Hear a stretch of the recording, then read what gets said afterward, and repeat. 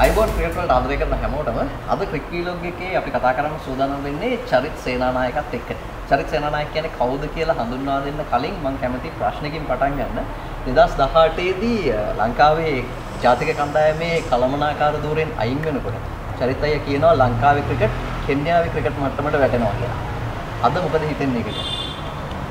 මං හිතන්නේ මට 2018 පොඩ්ඩක් වර්දින්න ඇති මට කියන්න තිබ්බේ සිම්බාබ්වේ ගානට වැටෙනවා කියලා. එනවා මට තේරුණා අපේ ක්‍රිකට් එකත් ඒ විදිහේ ගානට යනවා කියලා යන විදිහට. මං හිතන්නේ මං 2018 කියූප එක දැන් පේනවා ඇති 2024 අද අපේ ක්‍රීඩාව කොහෙද තියෙන්නේ කියලා. මේ අපි උදම් වනනවා සිම්බාබ්වේ කණ්ඩායමට මේ මෙහෙ ඇවිල්ලා මැච් පරදිනවා අපි සිම්බාබ්වෙට. නැත්නම් බොහොම අමාරුවෙන් දිනන්නේ. සීරීස් එකක් දිනලා කෑ ගහනවා චැම්පියන්ස් කියලා. හැබැයි සිම්බාබ්වේ වර්ල්ඩ් කප් එකට ක්වොලිෆයි වුණේ. 50 එකට ක්වොලිෆයි වුණෙත් නෑ. 2020 එකට යුගන්ඩාවට පරදුනා. මං හිතන්නේ ඇත්තටම කිව්වොත් 2018 කෙන්යාව හිටිය කෙන්යාවටත් හිටපු තත්තරත් පල්ලෙහා තත්යකට අපි අද ඇවිල්ලා ඉන්නේ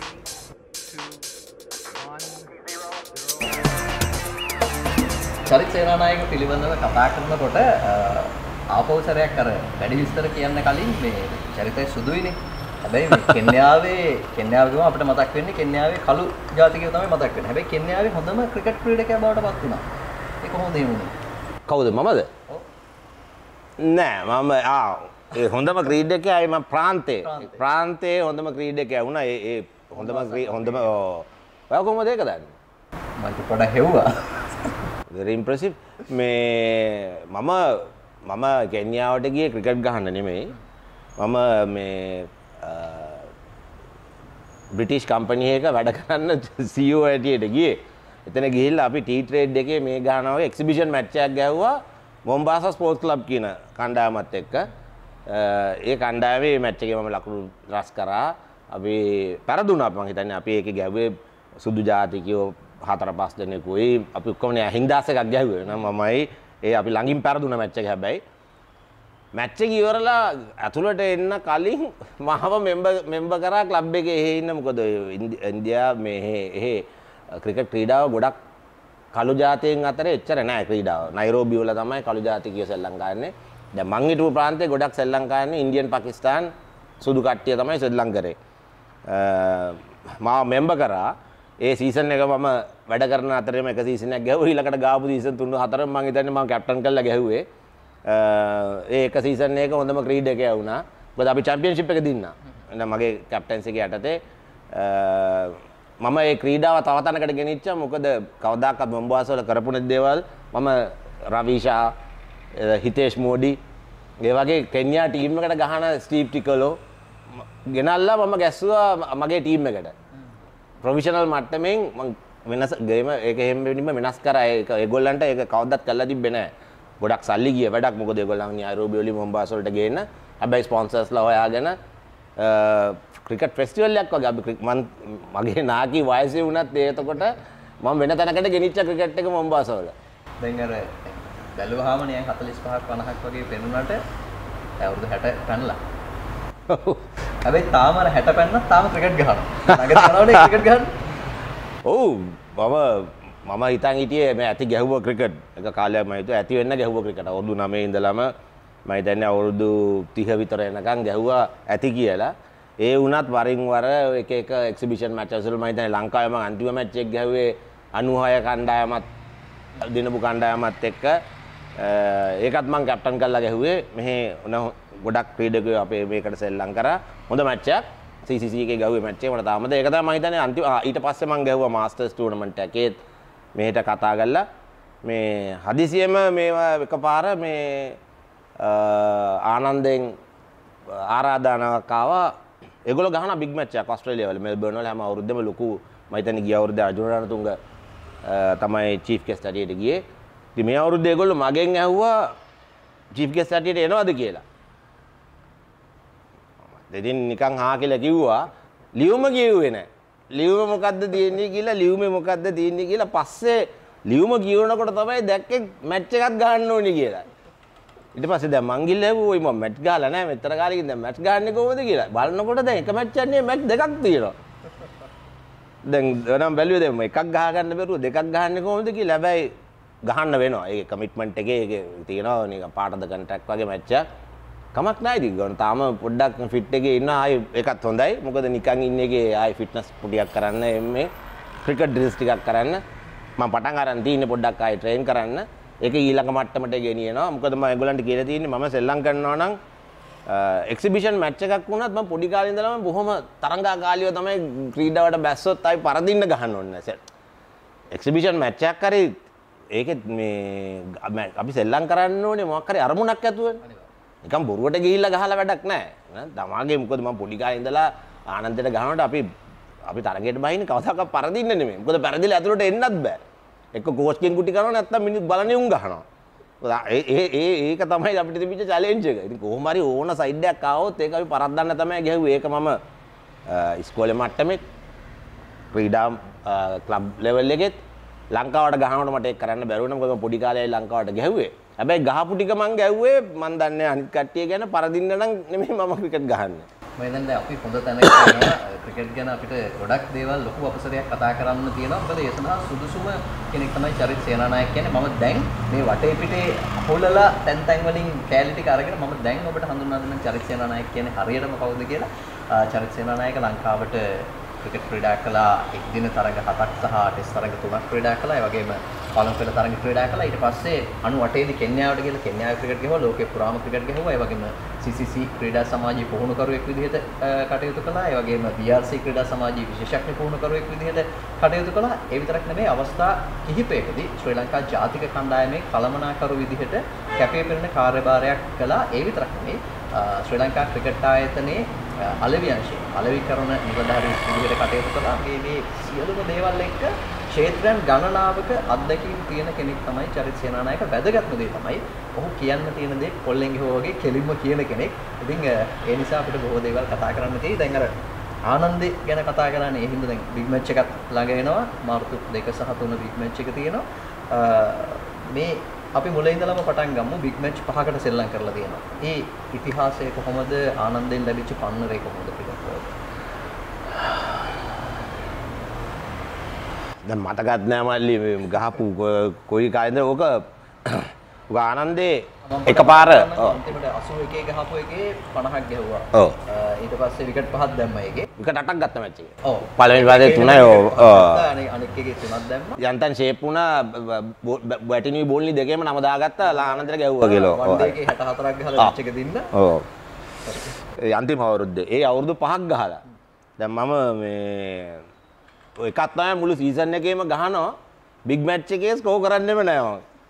ඒක අර නර්ව්ස් ඒ කියන්නේ එච්චර මේ අපි ගහන කාලේ සෙනග ඕපන්ද බැට් කළේ. අන්තිම අවුරුදු ඕ මම හිතන්නේ අවුරුදු දෙක තුන ඕපන් කරා. කලින් මිඩල් ඕඩර් ෆ්‍රන්ට් ලයින් මේ උඩ බැට් කරේ. නම්බර් 4 වගේ මම හිතන්නේ බැට් කරේ පළවෙනි අවුරුදු දෙක. ඊට පස්සේ ඕපන් කරාම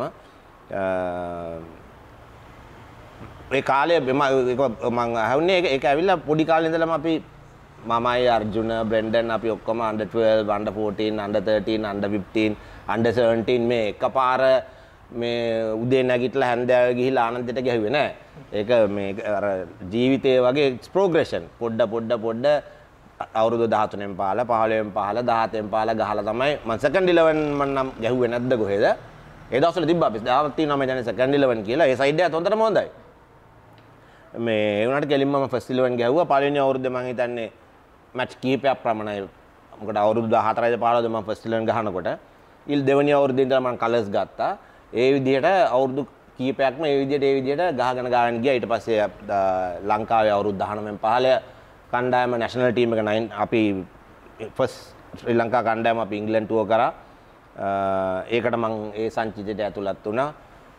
අරවින්ද ඩිසිල්ලා අර්ජුන නතුංග රොමේෂ් රත්නායක ග්‍රහෙම් ලෙබ්රොයි මම හිතන්නේ කොහොම රොෂාන් ගුණරත්න මම හිතන්නේ අද ජීවිතන් අතුර නැහැ මම හිතන්නේ කණ්ඩායමේ හිටපු 100ට 60ක් 70ක් ක්‍රීඩකයෝ ලංකාව රිප්‍රසන්ට් කරා ඒ අන්ඩර් 19 ටීම් එක මරු ටීම් එක දැන් අපි මේ ආනන්ද නාලන්ද සුලහිත සංග්‍රාමය ගැන කතා කරනකොට මේක එක පැත්තකින් පොඩි එදිරිවාදිකමක් තිබ්බත් සහෝදරත්වයත් එක්ක තමයි යන්නේ. ඒ කණ්ඩායම් දෙකේම හිටපු බොහෝ දෙනෙක් ජාතික කණ්ඩායම නියෝජනය කළා සහ ඒ කාලේ ලංකාවේ ක්‍රිකට් වල ස්වර්ණමය යුගයේදී ජාතික කණ්ඩායම නියෝජනය කළා මේ ආනන්ද නාලන්ද කණ්ඩායම් දෙකේම කට්ටිය. හැබැයි අද වෙද්දි මේකේ පොඩි දකින්නේ ආනන්ද නාලන්ද ක්‍රීඩකයින් ඇවිල්ලා තියෙන කොතනද අයියේ අපිට වැරදිලා තියෙන්නේ මම දැක්කා ගිය සුමානේ මං හිතන්නේ ප්‍රවීණ ක්‍රිකට් විචාරකයෙක් මම හිතන්නේ හිඩ්නර් එක්ස් ක්ලෙමන්ටයින් ලියලා තියෙනවා හරි ඉන්ටරෙස්ටිං ආටිකල් එකක්. ඔය ඔය කතා කරන යුගයේ අපේ ලංකාවේ අපේ මේක- මේ විදුහල් දෙකෙන්ම අපි ගොඩක් ක්‍රීඩකයෝ බිහි කරා ලංකාවට ගහන්න. හොඳ මට්ටමක තිබ්බ ආනන්ද නාලන්ද ක්‍රිකට්. හැබැයි ඔය දැන් ඔය අහුව ප්‍රශ්න වගේ මං හිතන්නේ අවසනාවකට වගේ අපි ගොඩක් පහළ මට්ටමක දැන් සෙල්ලම් කරන්නේ. හැබැයි ඒක මං හිතන්නේ ආනන්දයටම විතරක් වුණ දෙයක් නෙමෙයි. අපි පොදුවේ බැලුවොත් මං හිතන්නේ මේ කොළඹ පාශල් ඔක්කොම Royal Saint Thomas Saint Peter's බොහොම අඩුයි කොළඹෙන් හොඳ ක්‍රීඩකයෝ එනවා. මම හිතන්නේ ඒක මේ මේ රටේ තියෙන තත්ත්වය ආර්ථික තත්ත්වය ඔක්කොමත් එක්ක මම හිතන්නේ තිබිච්ච ඒ ක්‍රමවේදය වෙනස් වෙලා තියෙන්නේ. දැන් අපි ගාන කාලේ ඉස්කෝලෙන් හොඳ ක්‍රිකටර්ස්ලා ක්‍රිකට් කෙනෙක් ආපුවාම කම්පනි සිටිය හොඳ රස්සාවක් දෙන්න. ජොබ් එකක් ගන්න එනවා يعني ඔය මැනේජ්මන්ට් ට්‍රේනීස් ඒ වගේ විදිහට නැත්තම් මොකද අපි ගොඩක් සෙල්ලම් කරපු කට්ටිය අපි අ, ඉගැනුම පහකට පල්ලහැට දාලා ක්‍රිකට් ගැහුවේ. හැබැයි ඒකේ ප්‍රතිඵල තිබ්බ ඉස්කෝලෙන් එනකොට හොඳට සෙල්ලම් කරොත් හොඳ රස්සාවක් ලබා ගන්න. හැබැයි අද තත්ත්වය ඒක නෙමෙයිනේ. දැන් ක්‍රිකට් ගැහුවට ළමයින්ට හරි අමාරුයිද මේ ඉස්කෝලෙන් එළියට ආවට පස්සේ ජීවන වටාව කරගෙන යන්නේ. එතකොට අවුරුද්දාන මිස් වුණාම අම්මලා තාත්තලාට හැමදාම බලා ගන්න බෑ. ඉතින් අම්මලා තාත්තලා අද කියන්නේ ක්‍රිකට් පස්සකට දාලා පාඩම් කරන්න කියලා. හැබැයි ගමේ කෙනෙකුට පුළුවන් ක්‍රිකට් ගහලා කො- ඒගොල්ලන්ට තියෙනවා මොකද මේ ස්කෝලර්ෂිප් එකක් හරි මොකක් හරි කොළඹට අරගෙන ඒගොල්ලන්ට තියෙන chance එක වැඩි මේකට ගහන්න. මං හිතන්නේ ඒක තමයි මේ රටාව අපේ රටේ තිබිච්ච එක වෙනස් වෙලා.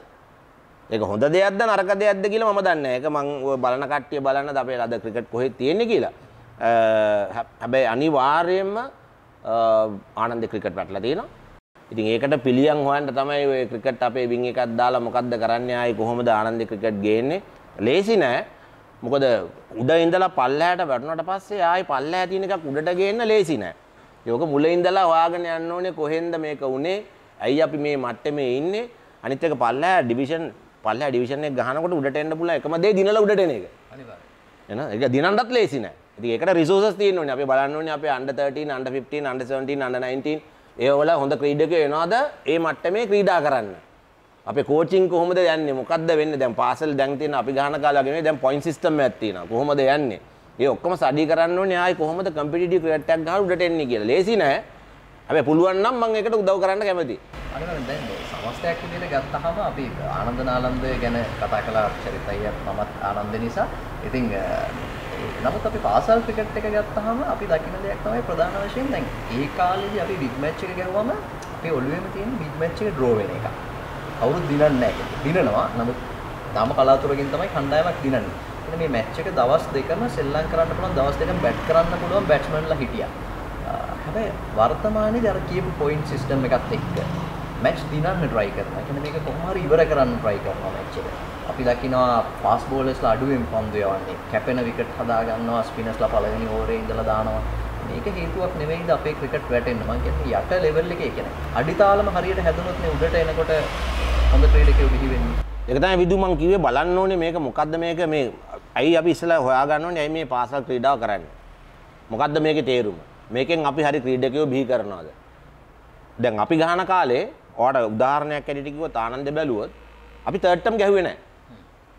ආනන්ද ගැහුවේ නැහැ තර්ඩ් ටර්ම් අනිත් ඉස්කෝල ඔක්කොම ගැහුවා. මොකක් යම් හේතුවකට ආනන්ද අපි ගැහුවේ නැහැ. අපි ගැහුවේ මැච් 11යි බිග් මැච් එකත් එක්ක වැඩිමුණොත් හැබැයි ගැහුවේ ඔක්කොම ට්‍රැඩිෂනල් ෆික්ස්චර්ස් කියන එක විතරයි. ඒ කියන්නේ හැම අවුරුද්දෙම ෆික්ස්චර් කාඩ් එකක් ගහනවා. මට තාම මතකයි ඒකේ ධර්මපාල විතරයි අපි ඉස්සලා පටන් ගත්තේ එක මැච් එකකට වගේ. ඊට පස්සේ කෙලින්ම Royal, Saint Peter, Saint Benedict's ඒ ගහන ඒ අවුරුදු ගාණක් ඒ ගහපු ප- ඒ අනිත් පාඨශාලාත් එක්ක තමයි ගැහුවේ. ඊට අමතරව අපි මැච් එකක් ගහන්න වෙලාවක් නැහැ. බිග් මැච් එකක් ගැහුවා. ඊට පස්සේ 50 ඔය එක ආවා. එතනින් ඉවරයි.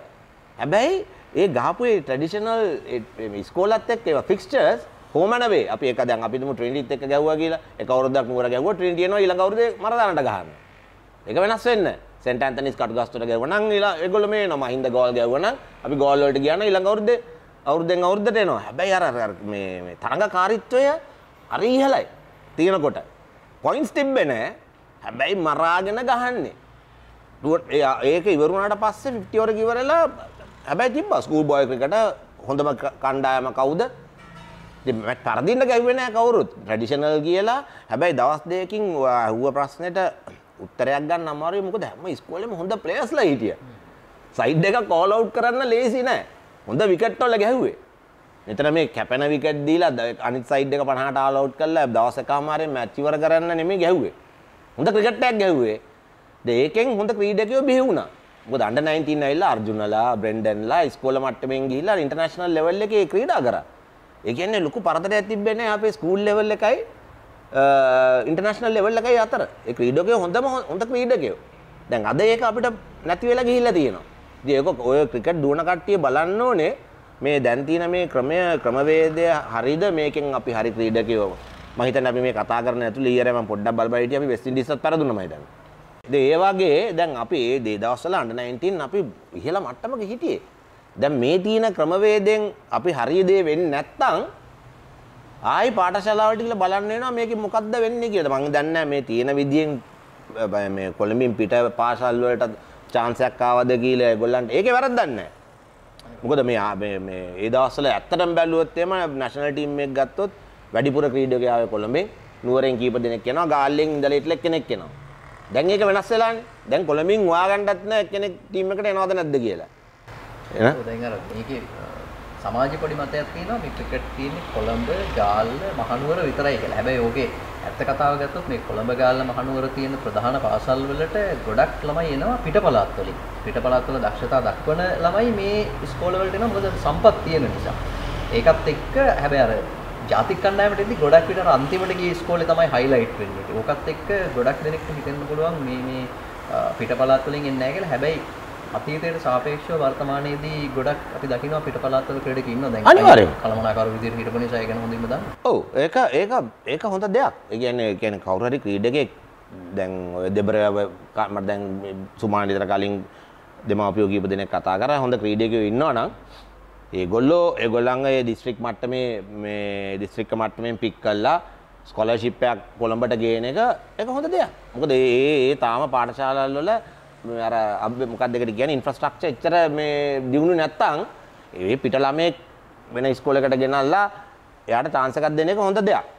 එතකොට එයාගේ එතකොට තියෙන ඔය හැම ඉස්කෝලේකම තියෙන අපි කියනවා ක්‍රිකටින් කල්චර් කියලා එකක්. අපේ ආනන්දේ තිබ්බ කල්චර් එකක් රොයල් එකට ගියොත් රොයල් එකේ තියෙන කල්චර් එක සෙන්ට් තෝමස් ඉතින් පිටින් ළමයෙකුට ඇවිල්ලා ඒ කල්චර් එකට හැදෙන්නත් ටිකක් කාලයක් යනවා. එකපාර ගෙනල්ලා ගුඩින් ගස්සලා ගස්සන්න බෑ අමාරුයි. එනවා. ඒගොල්ලොත් එක්ක එකට ඇවිල්ලා එතකොට අර අතීතයේ අයක තමයි කියන්නේ දැන් මෙයා මේ මේ ඉස්කෝලේට ගියා මේ ඉස්කෝලේට ගියා අර අතීතයේ අමතක වෙලා යනවා. ඇත්තටම බැලුවොත් 190ක් ක්‍රීඩකයෝ අපි ගහන කාලෙත් බැලුවොත් එහෙම පිටින් ආපු ඔබේ ආ- ආනන්දෙට නාලන්දෙට රොයල් සෙන්ට් තෝමස් ඔක්කොම ස්කෝලර්ෂිප්ස් වලින් ආපු කට්ටිය තමයි ගැහුවේ. හැබැයි මේ ඒ ඉස්කෝලවලත් ඒක ඇවිල්ලා ඒක ඒගොල්ලන්ගේ ප්ලෑන් එකක් වෙනවා බැලු දැන් බලනවා අපේ ටීම් එකේ දැන් ආනන්දේ වුණත් බැලුවොත් මම නම් වශයෙන් ඉන්න බ්‍රෙන්ඩන් ආවේ වෙස්ලි එකේ ඉඳලා. එදා ඒක එදා බ්‍රෙන්ඩන් කිව්වා එදා. මේකෙදි මං ආවේ මගේ මුළු ජීවිතේම වෙනස් වුණා. අන්ඩර් 14 මං කැප්ටන් කරනකොට ඇවිල්ලා අපිත් එක්ක ගැව්වේ. නේද ඒ වගේ ඔය ටීම්ස් බලනවා රයිට් අපේ කණ්ඩායමේ මොනවද අඩුපාඩු? අපිට ඕපනින් බැට්ස්මන් කෙනෙක් නැද්ද? හොඳ විකට් කීපර් කෙනෙක් නැද්ද? හොඳ ස්පිනර් කෙනෙක් නැද්ද? ඒ වගේ කෙනෙක් ගන්න පුළුවන්. ඒක වෙන්න ඕනේ. හොඳ ක්‍රීඩකයෝ පිටින් ඉන්නවා නම් ඒගොල්ලන්ව ගේන්න ඕනේ. හැබැයි ඒගොල්ලන් ගෙනල්ලා ඒගොල්ලන්ගෙන්ම වැඩ කරගන්න කරගන්න බෑ අනිත් කණ්ඩායත් සෙල්ලම් කරන්න ඕනේ. හැබැයි දැන් ඇත්තටම බැලුවොත් ඒ ක්‍රීඩකයින්ට මෙහෙට ආනන්දෙට ඇවිල්ලා වැඩක් නැහැ. මොකද කා- දැන් මම කියන්නේ මම දන්න වින්ද ආපු වින්ද අන්න ඕක තමයි මේ ජීවිතේ තියෙන්නේ මිනිහ පල්ලෙහා ඉන්නකොට කවුරුත් බලන්නේ නැහැනේ. උඩ ඉන්න තැනට තමයි යන්න හදන්නේ ඔක්කොම. ඒක ජීවිතේ හැටි. දැන් මේ වර්තමානයේදී ලංකාවේ ක්‍රිකට් ගැන ලොකු කතා බහක් ඇති වෙලා තියෙනවා. මේ ක්‍රිකට් විනාශ වුණේ කොතනද? ක්‍රිකට් විනාශ කළේ කවුද කියන එක පිළිබඳව විවිධාකාරයේ දෙනාගේ විවිධාකාරයේ මත තියෙනවා. දැන් ප්‍රධාන චෝදිතෙක් වෙලා තියෙනවා මේ ශම්මි සිල්වා. ශම්මි සිල්වා ගැන මම අ, ඔහු ගැන මේ අ, ඔහු මේ ක්‍රිකට් විනාශ කළාද නැද්ද කියන එකට වැඩිය අ, නාලන්දේ කැප්ටන් කළා ශම්මි සිල්වා ඔබ ක්‍රීඩා කරන කාලෙදී. මදන තුන්ගිරියව ක්‍රීඩකෙක් පොඩ්ඩක් ඒක ගැන අපි කතා කළොත් මේ නාලන්දේ හිටපු ප්‍රතිවාදීන් පිළිබඳව ඔවුන් අ, ලංකාවේ ජාතික තලයට ආපු ක්‍රීඩකයින් ආනන්ද නාලන්ද දෙකේ අතර ලොකු සටනක් තිබුණා සහ ඒ සටන ජාතික කණ්ඩායම ඇතුළේදී අ, රට ඉහළට ගෙනියන්න ශක්තියක් ඔව් අපි ඔය සුලෝහිත සංග්‍රාමය කියලා ග්‍රවුන්් එකට බැස්සහම අපි ඒ යාළුකම තිබ්බේ නෑ. හැබැයි සහෝදරත්වය හරි ළඟින්ම තිබ්බා. ඒ කියන්නේ ඇත්තටම කියනවා බිග් මැච් එකට කලින් අපි කෑමට ගියත් නාලන්දේ ටීම් එකයි අපි එකට කන්නේ. දැන් අම වැඩි ඕනේ මගේ ගෙදර භාගයක් ඉන්නේ ආනන්ද ක්‍රිකට් සට වැඩිය නාලන්දේ කාලේ මගේ තාත්තා ජීවිතුන් අතර ඉන්න කාලේ අපි ඔක්කොම එකට හැදුනේ. එනේ ඒ සහෝදරත්වය නැති වෙන්නේ ඒ සහෝදරත්වයේ ශම්මිසිල්ලත් ඉන්නවා. මං කවදාකවත් ඒක අමතක කරන්නේ නැහැ. දැන් ඔයිට අමතරව තව එකක් කියන්න ඕනේ ගොඩක් දෙනෙකුට අමතක වෙච්ච කාරණයක් තමයි ඔව් එයා නාලන්ද කැප්ටන් කරා. ඒක කිසි ප්‍රශ්නයක් නැහැ. හොඳ හොඳ මේ මලල ක්‍රීඩකෙකුත් සමග එන ඒව රෙකෝඩ්ස් වල තියෙනවා කාටවත් නැහැ කියන්න බෑ. ඒ විතරක් නෙමෙයි එයා මම ක්‍රීඩා කරපු CCC කණ්ඩායමත් කැප්ටන් කරා. ඒක වැඩි දෙනෙක් දන්නේ නැහැ. අද වෙන තුරාට අපි හොඳ මිත්‍රයෝ.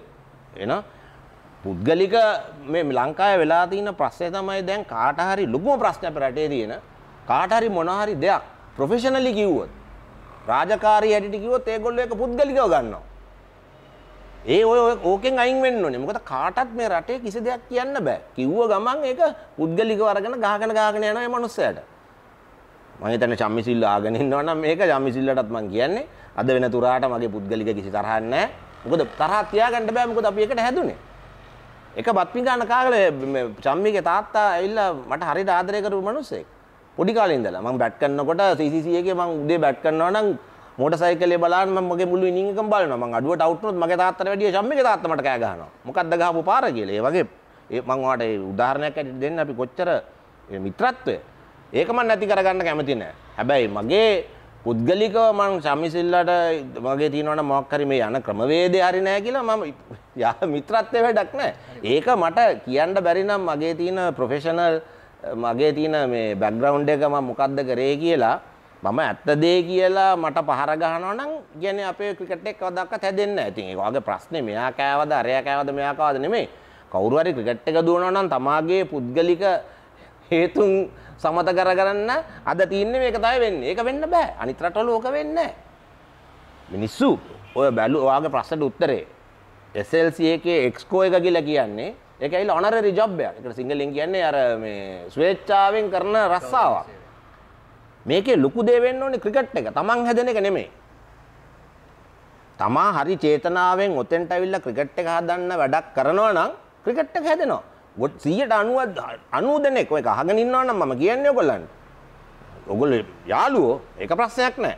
හැබැයි ඔතන ක්‍රිකට් බෝඩ් එකට බලන්න එක්ස්කෝ එකේ කී දෙනෙක් ඉන්නවද කියලා ක්‍රිකට් ගහපු. හරි ක්‍රිකට් එකක් ගහපු කී දෙනෙක් ඉන්නවා කියලා බලන්න එක්ස්කෝ එකේ. ඔක්කොම ඒගොල්ලෝ ඔය ඡන්ද ක්‍රමේ ඔයකයි අපි කියන්නේ ඔය ඡන්ද ක්‍රමේ වෙනස් කරන්න කියලා. ක්‍රිකට් ගහන්න නැති ක්ලබුත් ඇවිල්ලා වෝට් දානවා. ඇයිල්ලා ඔක්කොම රටේ ඉන්න මේ එක එක ජාවාරම් වල ඉන්න ජාවාරම්කාරයෝ ක්‍රිකට් එකට පැන ගන්නවා. ඒ එන්නේ ක්‍රිකට් එකට හොඳක් කරන්න නෙමෙයි. ඉතින් අද අද වෙලා තියෙන්නේ ක්‍රිකට් එකට ඒකයි. ඉතින් ඊට පස්සේ මෙතනට කට්ටියක් ආවම ලෝකේ ඉන්න ඔක්කොම අනිත් ඔය බිට්කොන් අරකොන් මේකොන් ඔක්කොම කොන් තමයි. ඔක්කොම කොන් ආටිස්ලා එන්නේ. එතකොට ඒගොල්ලන්ගේ පැවැත්ම ඒගොල්ලෝ හදාගන්න යනවා ක්‍රිකට් එක පල්ලෙහාට වැටෙනවා. ඒකයි වෙන්නේ. දැන් අපි ක්‍රිකට් පිළිබඳව කතා කරනකොට චරිතය හොඳ තැනකට ආවා. අර යාළුකම වෙනයි මේක වෘත්තීය ස්වභාවයෙන් අපි ක්‍රිකට් එක හදන්න කතා කරන කාරණාව වෙනයි. ඕකම තමයි ඔගේ අනිත් පැත්තට දැන් අර යාළුවන්ව මෙතෙන්ට ගන්නවා නෙමෙයි සුදුසු පුද්ගලයෝ. ඒගොල්ලෝ පුද්ගලිකව මිත්‍රයෝද නැත්නම් පුද්ගලිකව තරම් හිත හොඳ නැද්ද කියන එක නෙමෙයි. නමුත් ඒ කාරණයට සුදුසු ඒ වෘතයට සුදුසු කට්ටියව මේ වැඩේට ගන්නම නම් මම හිතන්නේ අපේ ක්‍රිකට් එක මීට වැඩි අනිවාර්යෙන්ම. ඉදිරියට ගෙනියන්න හැකියාවක් තියෙනවා. දැන් අපි එමු මේ කළමනාකරුවා කියන තැනට. දැන් ඔබ කළමනාකරුවෙක් විදිහට වැඩ කළා අවස්ථා ගණනාවකදී. මම හිතන්නේ පළවෙනි පාර අර කෙන්යාවේ ඉඳලා මෙහි නිවාඩුවකට ආපු වෙලාවේ තමයි කළමනාකාරයෙක් විදිහට පත් වුනේ. නෑ එතන මේ මම ජොබ් එකට එප්ලයි කරා. ආ. මම දෙපාරක් කවුරුත් දන්නේ නැහැ. මේ ඒක තමයි මගේ මිත්‍රත්වය නෙමෙයි. එතකොට අර්ජුන හිටියේ මෙතන ක්‍රිකට් බෝඩ් එකේ. ඒ වුණාට මම මගේ හදේ සල්ලි දීලා මම දෙපාරක් ඉන්ටර්විව් එකට ආවා ලංකාවට. ඉන්ටර්විව් බෝඩ් එකක් තියලා මම ඉන්ටර්විව් එකට ගිහිල්ලා මාව සිලෙක්ට් වුණා. මේ හෙඩ මාර්කටිං පෝස්ට් එකට මම එප්ලයි කරේ ලංකාවට ආවා ඒත් ඉතින් ද- ඒක පොඩ්ඩක් පරක් වුණා. ඒ අතරතුරේ තමයි මම කළමනාකාරීත්වය කරේ. එතකොට ක්‍රිකට් බෝඩ් එකට ප්‍රශ්නයක් වුණා මෙයාව කළමනාකාරයට තියාගන්නවද හෙඩ මාර්කටිං එනවද කියලා. ඉතින් ඒක වෙනස් වුණා මං ඉස්සෙල්ලාම මගේ ලංකාවට බහැපු ගමන් කෙලින්ම එයාපෝට් එකේ ඉඳලා මම ලංකාවේ නැෂනල් ටීම් එකට ජොයින් වුණා. ඉන්දියාවත් එක්ක ගැහුවේ සීරීස් එක අපි දෙන්න. දැන් කණ්ඩායම් කළමනාකරුවෙක්ගේ වගකීම මොකද දැන් අපි අ, පහුගිය කාලේ ක්‍රීඩකයන්ගේ විනය ගැන ගොඩක් කතා බහට ලක් වුණා සමහර කළමනාකරුවෙකු අපිට මේ ඉස්කෝලේ එක වගේ මේ ළමයිව පාලනය කරන්න බෑ කියලා. ඒත් දැන් එහෙම කළමනාකරුවෝ ස- එහෙම කියනවා නම් මම දැන් ඔබේ කළමනාකාරීත්වයක් එක්ක මම ගනුදෙනු කරලා තියෙනවා මාධ්‍යකරුවෙක් විදිහට අ, ඔබේ මම දැකපු හොඳම දෙයක් තමයි ක්‍රීඩකයෙක්ව අපි දැන් ඉල්ලුවොත් සම්මුඛ සාකච්ඡාවකට ඉල්ලුවොත් අ, සමහර වෙලාවට කළමනාකරුවෝ ටිකක් බයයි. පස්ස ගහනවා මෙයාව දෙනවද නැද්ද කියන එක. හැබැයි ඔබ අ, ක්‍රීඩකයෙක්ව එක්ස්පෝස් කරන්න ඕනේ කියලා හිතනවා නම් ඔබ ඒ ගැන අ, හොඳ තීරණ අරගෙන ඒ අවස්ථාවන් ලබා දීලා තියෙනවා. ම- මට පුද්ගලිකව මම ඔබත් එක්ක ගනුදෙනු කරලා තියෙන අවස්ථාවන් වලදී කණ්ඩායම් කළමනාකරුවෙක්ගේ වගකීම මොකක්ද ඇත්තටම? ඕක වෙනස්සලා තියෙන විදු. අවුරුදු ගානට කලින් කල්මනාකාරයෝ බැලුවොත් අපේ ඔගොල්ලෝ මගෙන් දන්න ඉපදිල තිටියද කියලා අබු ෆුවඩ් කියල හිටිය මේ ලංකාවේ ප්‍රධාන තරිතයක් manage one man show manage code select ඔක්කොම කරේ මනුස්සය. ඒක ඇවිල්ල ඒ තිබිච්ච කළමනාකාරත්වය තිබේ හරිට ෆුට්බෝල් ටීම එක මැනේජවගේ එයා ඩිසිෂන් එක් ගන්න මොකක්ද කරන්නේ කියලා. එයා ෆුල් රෙස්පොන්සිබිලිටිය එක ගන්න මොකක්ද වෙන්නේ වෙන කවද ප්ලේස ගහන්නේ. යෝක අවුරුදු දැම් මේ මේ දැම් මං සෙල්ලං කරන්න ගාල ගත්තේ ඉඳලා මැනේජ තමයි ලො- ලොකුම තැන හිටිය. හැබැයි ඔය රෝල් එක වෙනස් වුන දැන් හෙඩ් කෝච් ලැවිල්ලා දැන් ඉන්නවනේ සපෝට් ස්ටාෆයක් ඉන්න දහයක් විතර ඉන්නවා. දැන් ඇත්තටම කළමනාකරුගේ රෝල් එක නිකම් පියන් ගෙනෙක්ගේ රෝල් එක වගේ අඩුවෙලා තියෙන නිකම් බොහෝම මේ- මේ ප්ලේයර්ස් ලගේ මොකක්ද කරන්නේ? ලොජිස්ටික්ස් කටිය ටික කරන්න. නික එඩමිනිස්ට්‍රේටව රෝල්ලයක් විතරයි දැන් නැශනල් ටීම් එකගේ කල්මනාකරු කියල කියන්නේ. මේක අනිත් රටවලත් එහෙමද නැත්නම් ලංකාවේ විතරද? ඔක්කම රටවල් වල හෙඩ් කෝච් තමයි ඕක දුවන්නේ. හැබැයි ද මම වැඩ කරපු කෝචසත් එක්ක ගොඩක් සියට අනුවක් කෝචස්ලට තේරුණාම මේ මනුස්සයාගේ මේ පුද්ගලික වෙනම වෙන දෙයක් කියල ඒගොලොවට කරු කරනවා ඔය මැනේජ හැටියට ඔයා තමයි කොම කෝල් ඔයා තමයි කෝල් කරන්න පුළුවන්. ඒක ඔයා හය පරිසරේ හදාගන්න ඕනේ. වගේ දැන් දැන් ප්‍රාද ප්‍රශ්නයට අහන්න උත්තරේ ක්‍රීඩකයින්ට බයේ මෙතන තමාගේ ප්ලේස් එක රැකගන්න එක කරන්න බෑ. දැන් ඔයා ඇහුවොත් එහෙම ප්ලේයර් කෙනෙක්ව කියන්න පුළුවන් මම මෙයාව එවන්නේ නැහැ කියලා. මාධ්‍ය ඇහුවොත් එහෙම අපිට මෙයාට කතා කරන්න ඕනි කියලා. එදා දවසේ යා නම් හොඳට ක්‍රීඩා කරේ. ඒක එයාගේ ජොබ් එකේ කාර්යයක්. ඒ ගිහිල්ලා මාධ්‍යට උත්තර දෙන්න. ඒක හැංගෙන්න බෑ. වැරදිට කරන්න මොකක් හරි වුණා නම් ඒකට උත්තර දෙන්න ඕනේ. ඒක තමයි නැෂනල් ලෙවල් එකේ ගහන්නේ. බයේ ක්‍රිකට් ගහන්න බෑනේ. ඉතින් ඒක මම මම එයාව ප්ලේයර්ව ශීල් කරොත් එහෙම නෑ මං එයා නැතුව වෙන කෙනෙක් එවන්නම්. හදිසියේ ප්ලේයට ඉන්ජරි එකක් ඇවිල්ලා මොකක් හරි මේ වෙලාවේ රීහැබිලිටේෂන් මොන හරි එකක් යනවා නම් එම කවුරු හරි ડોක්ටර් කෙනෙක් නැත්තම් ඒගොල්ලන්ගේ කොන්ට්‍රැක්ට් එකේ තියෙනවා අපි සීරීස් එකක් ගහනකොට. අනිවාර්යයෙන්ම ප්‍රී මැච් පෝස්ට් මැච් සමහර දැන් දැන් දැන් මැච් එක ඇතුළෙත් යනවා සමහරලාට ඒවා. ඒ කොන්ට්‍රැක්ට් එකේ ප්ලේයර් කෙනෙක් කිල්ලුවොත් අපිට බෑ කියන්න බෑ. දැන් මේ කළමනාකරුගේ වගකීම දැන් සෑහෙන දුරට අඩු වෙලා තියෙනවා කියන්නේ දැන් අපි පහුගිය කාලේ මතුවෙච්ච විනය ප්‍රශ්නවලදී කළමනාකරුවගෙන් තමයි අහන්නේ මොකද්ද උනේ කියලා. ඒකට එයාට වගකීමක් නැද්ද මේ ක්‍රීඩකයන් එන යන එන වෙලාවල් එතකොට අනිත් දේවල් ක්‍රීඩකයන්ව දැන් කළමනාකරණය කරන්නේ නැත්නම් කළමනාකරු ඉන්නේ සංචාරයක් ගියාම හරි ඒ සංචාරය තුලදී ක්‍රීඩකයන්ව මැනේජ් කරගන්න. එතකොට ඕක ඕක ලොකුම ප්‍රශ්න වෙලා තියෙන්නේ අපේ අපි මන් මට මතකයි මම මැනේජර් ඉන්න කාලේ ඕස්ට්‍රේලියා ඉංග්ලන්ඩ් මට ෆිල් මට දැන් ඒගොල්ලන්ගේ නම් ෆිල් ඉංගලන්තේ හිටපු අවුරුදු 19ක් හිටිය මැනේජර් මම හිතන්නේ ඕස්ට්‍රේලියානු එක්කෙනා හිටිය 17ක් දැන් අපේ මේ මැනේජර් දාන්නේ එක ටුවර් එකට එක්කෙනෙක් දානවා තව එක්කෙනෙක් දානවා ඒ දාන්නේ ඔක්කොම එක්ක පොලිටිකල් මොකක් හරියක් ඉඳ යාළුවෙක් ඉඳ නැතුව සුදුසු මිනිහෙක් නෙමෙයිනේ ඕකේ මැනේජර් කෙනෙක් අවුරුදු ගාණක් ඉන්නකොට දැන් ඔය තාම ෆිල්ම් මට මතකයි ස්ලිප් කැචස් ගාන්නේ ඒගොල්ලන්ගේ ට්‍රැඩිෂන් එක යන්න කලින් අන්තිම ෆීල්ඩින් ට්‍රිල්ස් ඔක්කොම ඉවරලා අන්තිම ටික මේ මිනිහා ගහනවා නිකන් ස්ලිප් බෝඩ් එක ගහනවා වගේ. නාකේ මිනිස්සයා. හැබැයි ඒ කරලා කරලා කරලා කරලා ජොබ් එක දන්නවා. මොකද්ද කියලා. මැනේජර් කිව්වොත් එහෙම හරි රූල්ස් තියෙනවා. මෙච්චර හැම ටීම් එකේම තියෙනවා. දැන් අපි හිතමු කර්ෆියු කියලා කියන ටීම් ටීම් කර්ෆියු මැච් එකකට දැන් අපි කියනවා මැච් එකකට කලින් බුදිය ගන්න රාජ රෑ 11ට ඉවරයි. ඔක්කොම ඇඳේ ඉන්න ඕනේ. right? not match days. match days 10ට බුදිය ගන්න ඕනේ. ඉතින් මෙහෙමයි. දැන් ටීම් එකක් හෝටලේ ඉන්නකොට දැන් ඉන්නවා ස්කොඩ් එකකම ඒ දවස්වල නම් 15000 හිටිය දැන් සපෝට් ස්ටාෆ් එකත් එක්ක 25ක් විතර ඉන්නවා. මැනේජර් කෙනෙකුට තනියෙන් අමාරුයි මේ 25ම මොකද කරන්න කියලා බලන්න. හැබැයි එයාගේ මැනේජ්මන්ට් ස්ටයිල් එකේ ඔයගොල්ලන් මම දැන් මං කරනකට ම- මගේ සිකියුරිටි එහෙම මගේ ඔක්කොම මම දාලා තියෙන්නේ මොකද? මම රෑ බුදිය ගන්න ගියාම මගේ ඉන්න එතන ඩෝමන්ගේ ඉඳලා සිකියුරිටි එක මොනාර වුණොත් එහේ මට කියනවා සර් මෙන්න ඊය රෑ මේ යකා පැන්නා. මු- මෙ- මොන්න මූ යන්න හැදුවා මූ මේ වෙලාවට ආවේ. එතකොට මම මගේ මම ගන්න ක්‍රියාපටිපාටිය වෙනස් මම එක ප්ලේගෙනෙක් රිපෝට් කරලා නෑ මගේ මෙච්චර කාලයක් මැනේජර් හැටියට. හැබැයි මට ප්ලේයර් කෙනෙකුට කියන්න ඕන නම් මං කාමරයට ගෙනල්ලා දොර වහලා දෙන එක දෙනවා. අන්තිම පාර අන්තිම පාර කියන්නේ කරන්න එපා. ඒක ප්ලේයර්ගේ මැනේජර්ගේ තියෙන බැඳීම බැඳීම ඒක තේරුම තියෙන්නේ මොකද්ද කරන්නේ කියලා. ඔයාගේ ප්‍රශ්නෙට මැනේජර් රෙස්පොන්සිබල්.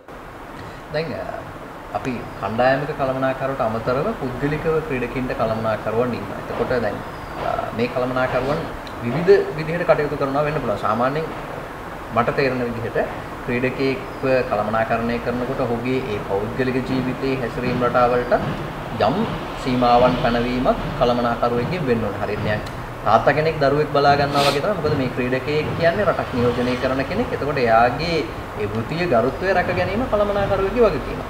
මේක පුද්ගලික කළමනාකරුවන් අතින් වෙන්න පුළුවන් නොවෙන්න පුළුවන්. මේ දැන් මේ ජාතික කණ්ඩායමේ ඉන්න ක්‍රීඩකයෝ රටක්නේ නියෝජනය කරන්නේ. එතකොට ශ්‍රී ලංකා ක්‍රිකට් ආයතනයට තමයි මේ ක්‍රීඩකයෝ වග කියන්නේ. ශ්‍රී ලංකා ක්‍රිකට් ආයතනයට වගකීමක් නැත්නම් මේ පුද්ගලික කළමනාකරුවන්ව කළමනාකරණය කරන්න.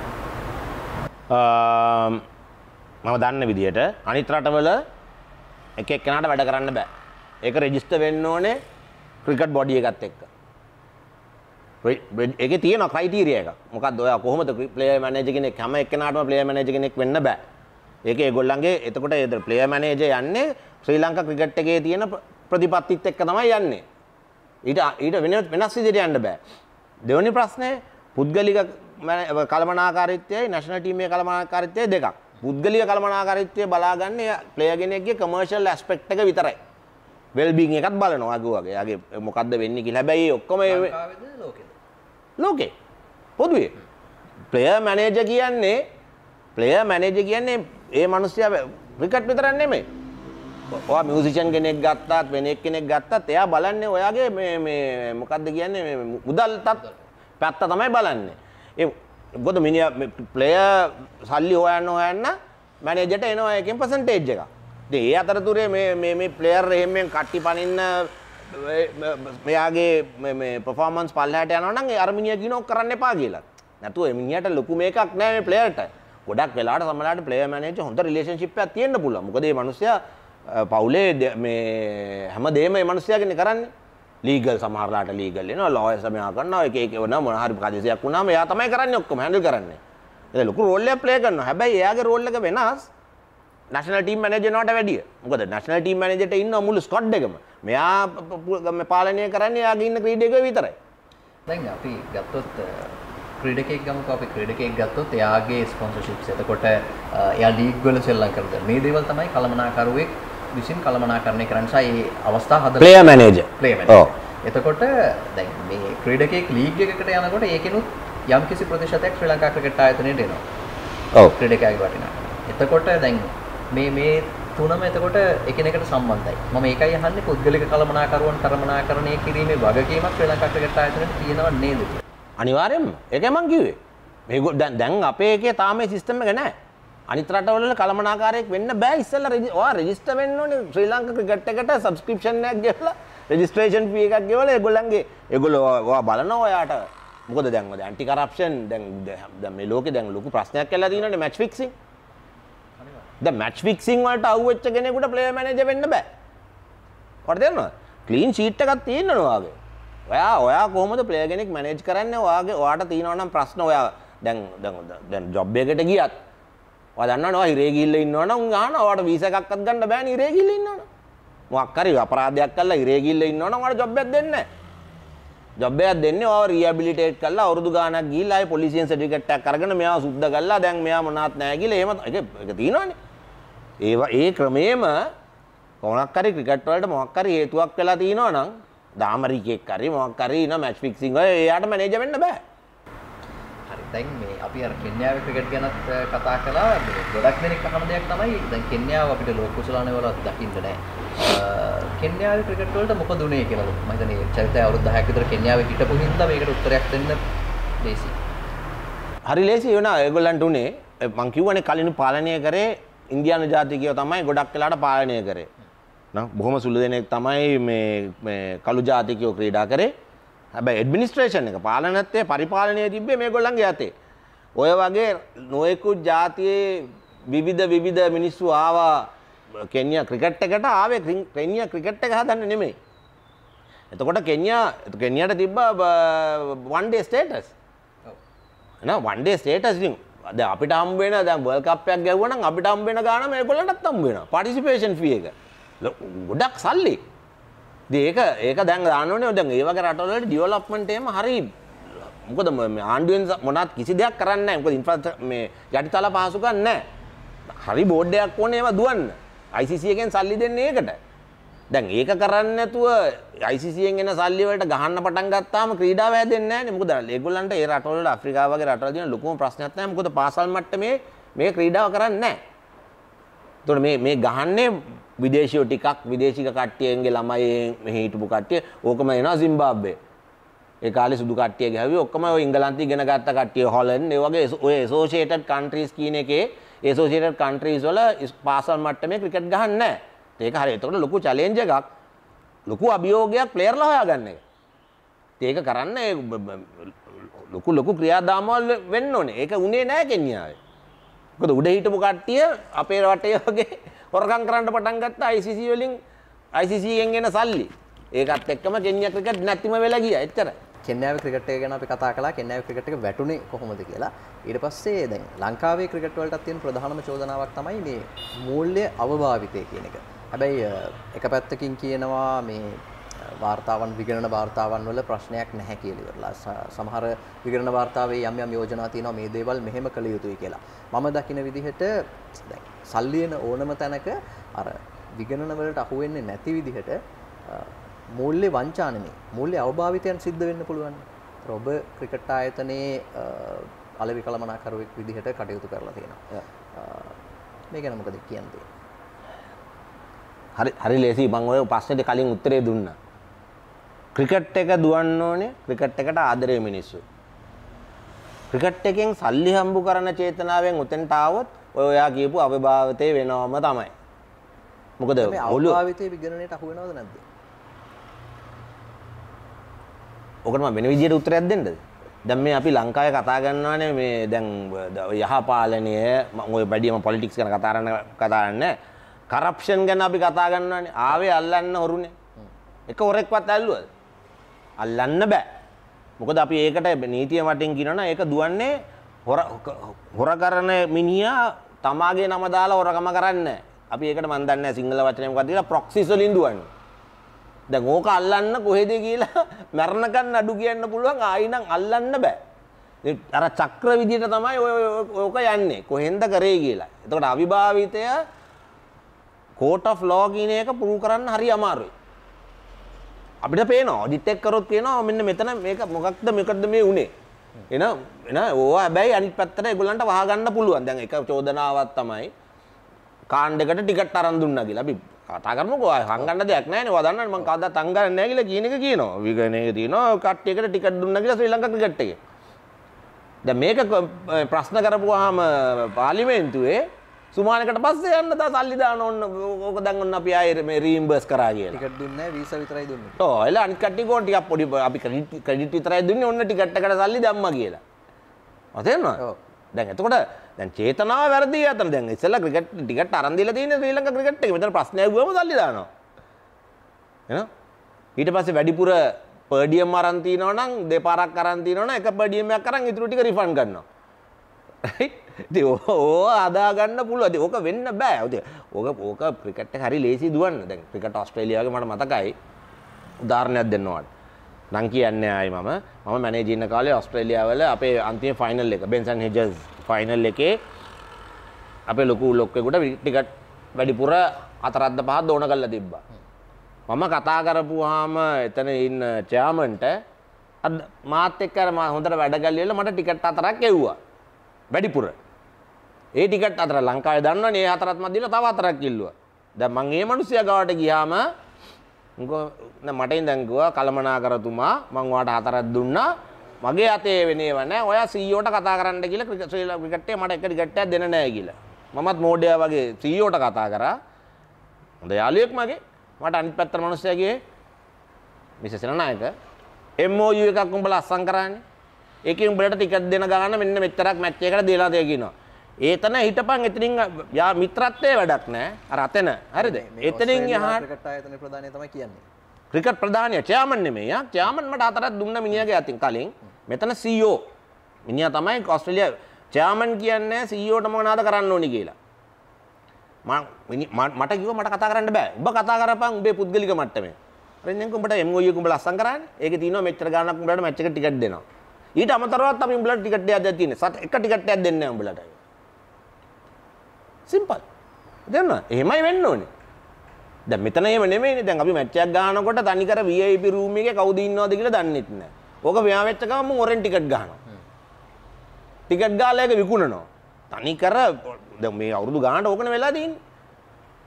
ඇමතිතුමා ඉල්ලනවා මට එවපන් ටිකට් 100ක් කියලා. සෙක්‍රටරි ඉල්ලනවා තව 100ක්. ඇත්තටම ක්‍රිකට් බෝඩ් එකටත් කරගන්න දෙයක් නැහැ. ඉතින් ඔහොම කොහොම ටිකට් දෙන්නේ? මැච් එකක් ආවොත් ඒ ඔක්කොම දෙන්නේ පොලිටිකල් ඒවට ඒවා මේවා. ඉතින් ඕක වෙන්නේ නැහැ ඕස්ට්‍රේලියාවේ නිව්සීලන්ත වල ආණ්ඩුව අත ගහන්නේ නැහැ. එන්න ඔන්න ඔතන තමයි ICC එකෙන් කියන්නේ ICC එකේ ඒගොල්ලන්ගේ ප්‍රතිපත්තිය අපි ආණ්ඩුවේ ආණ්ඩුවත් එක්ක- ආණ්ඩුවත් එක්ක වැඩ කරන්නේ නැහැ. තේරෙනවද? ඒකයි ඔය කියන්නේ ඔය දැන් ඔතන තියෙන ප්‍රශ්නේ ශ්‍රී ලංකා ක්‍රිකට් එක කාටද අයිති කියලා ලොකු ප්‍රශ්නයක් තියෙනවා. ඇත්තටම ICC constitution එකේ ව්‍යවස්ථාව හැටියට ඒගොල්ලෝ වැඩ කරන්නේ ආණ්ඩුව අත ගහනවා. ඒක හරි ක්ලියර්. මේක ලංකාවේ විතරක් නෙමෙයි ලෝකේ ICC ICC ක්‍රිකටුත් එහෙමයි ෆුට්බෝලුත් එහෙමයි රගත් එහෙමයි ඔලිම්පික්සුත් එහෙමයි. සරලව ගත්තොත් ICC එක කරන්නේ බිස්නස් එකක්. අපි මේ බිස්නස් එකේ කොටස්කාරයෝ. ඒගොල්ලෝ අපිට සල්ලි දෙනවා. අපි හරියට වැඩේ කරන්න ඕනේ. එච්චරයි. ඒගොල්ලන්ට ආණ්ඩුව වල වැඩක් නැහැ. ආණ්ඩුව අත ගැහුවොත් අයින් වුණා. කෙන්යා වල ඒකයි වුනේ. කෙන්යාව බෑන් කරා. මට ඒක අමතකුණා කියන්න. මොකද හොරකම් කරගෙන හොරකම් කරගෙන ගියා බෑන් කරා. ගෙලිම සිම්බාබ්වේ වගේ සස්පෙන්ඩ් කරලා දැම්ම අවුරුදු ගානකට. මේ ළඟදි තමයි සස්පෙන්ෂන් එක මෙයා කරලා එතකොට ඒගොල්ලන්ගේ ග්‍රේඩින් බෑලා ඇසෝසියේටඩ් මෙම්බර් කෙනෙක් එකක්වත් නෙමෙයි. එතකොට ෆන්ඩින් එන්නේ බොහොම ආයි මුල ඉඳලා පටන් ගන්න ඕනේ. පල්ලෙහාට යන්න යන්න සල්ලි නැහැ. එතකොට හරි අමාරුයි පල්ලෙහාට වැටුනහම ආයි උඩට එන්න අමාරුයි මොකද ෆන්ඩින් අඩු වෙනවා. දැන් ලංකාවේ ක්‍රිකට් වලටත් අ, වෙන්න ගියේ ඒක තමයි. මොකද අපිටත් අ, දෙන මූල්‍ය ප්‍රතිපාදන වල අඩුවක් තිබුණා. දැන් ආපහු අර ගොඩක් කට්ටිය ඇහුවා ක්‍රිකට් තහනම් කළා කිව්වට ඔය ක්‍රිකට් ගහන්නේ කියලා. හැබැයි ක්‍රිකට් තහනම් කරපු එකේ ක්‍රිකට් ගහන්න පුළුවන්. හැබැයි අර මූල්‍ය ප්‍රතිපාදන වල අඩුවීමක් සිදු වුණා. නමුත් දැන් ආපහු తాවකාලික තහනම ඉවත් කිරීමත් එක්ක ආපහු දැන් කලින් විදිහටම අපිට ඒ මූල්‍ය ප්‍රතිපාදන ලැබෙනවා. ඉතින් ඕක ප්‍රශ්නයක් තියෙනවා ICC එක කවුද දුවන්නේ දැන්ට? එහෙනම් ICC එකට කවුද බලපාන්නේ? ඒගොල්ලෝ කොහොමද මේ ඔය නීති සම්පාදනය කරන්නේ? ඒගොල්ලන්ගේ ඩිසිප්ලිනරි කමිටි එක කොහොමද වැඩ කරන්නේ?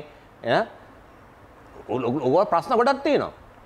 දැන් ඕක දැන් කලින් ඇමතිතුමා ඉන්නකොට එයාට තිබුණා ප්‍රශ්න ඇන්ටි කරප්ෂන් එකෙන් ඇල්ලුවා සමහර ක්‍රීඩකයන් ගේන්න එපා කියලා. ඒ ඇමති ගිහිල්ලා අනිත් තවලු ඇමති කෙනෙක් ආපුවාම ඒක ඒ ප්‍රතිපත්තිය වෙනස් වෙනවා. කොහොම? එහෙම වෙනස් වෙන්න බෑනේ ප්‍රතිපත්තිය ඉතින් ICC එකත් දෙපැත්තට වෙනෙනවා. න? දැන් ඒක දැන් වෙන්නේ මොනවා වුණත් වෙන්නේ ඔය අනිත් ෆුට්බෝල් රග වගේ ක්‍රීඩාවක් නම් අපේ ලංකාවේ තත්ත්වය ඉරණම වෙනස් වෙන්න තිබ්බා. ක්‍රිකට් ගහන්නේ ලාම ටෙස් නේෂන්ස් තියන්නේ දා- ගහන රටවල් 10 දකොද තියෙන්නේ දැන් ඔය 10 ලංකාවට එළියට ගියා නම් එහෙම ජියෝපොලි ජියෝපොලිටිකස් බැලුවොත් එහෙම දැන් හදිසිය ඔය ඉන්දියාවේ පාකිස්තානයේ හැමතිස්සෙම ගේමේ ඉන්නේ මේ දෙන්න. මොකක් හරි වුණොත් නියුට්‍රල් වෙනියු එකට තියෙන්නේ එක්ක ලංකාව නැත්නම් ඩුබායි. දැන් ඕක ICC එකට අපි නැති වුණා කියන්නේ අතපය කඩනවා වගේ. ඉතින් අපි අපි ඕනේ.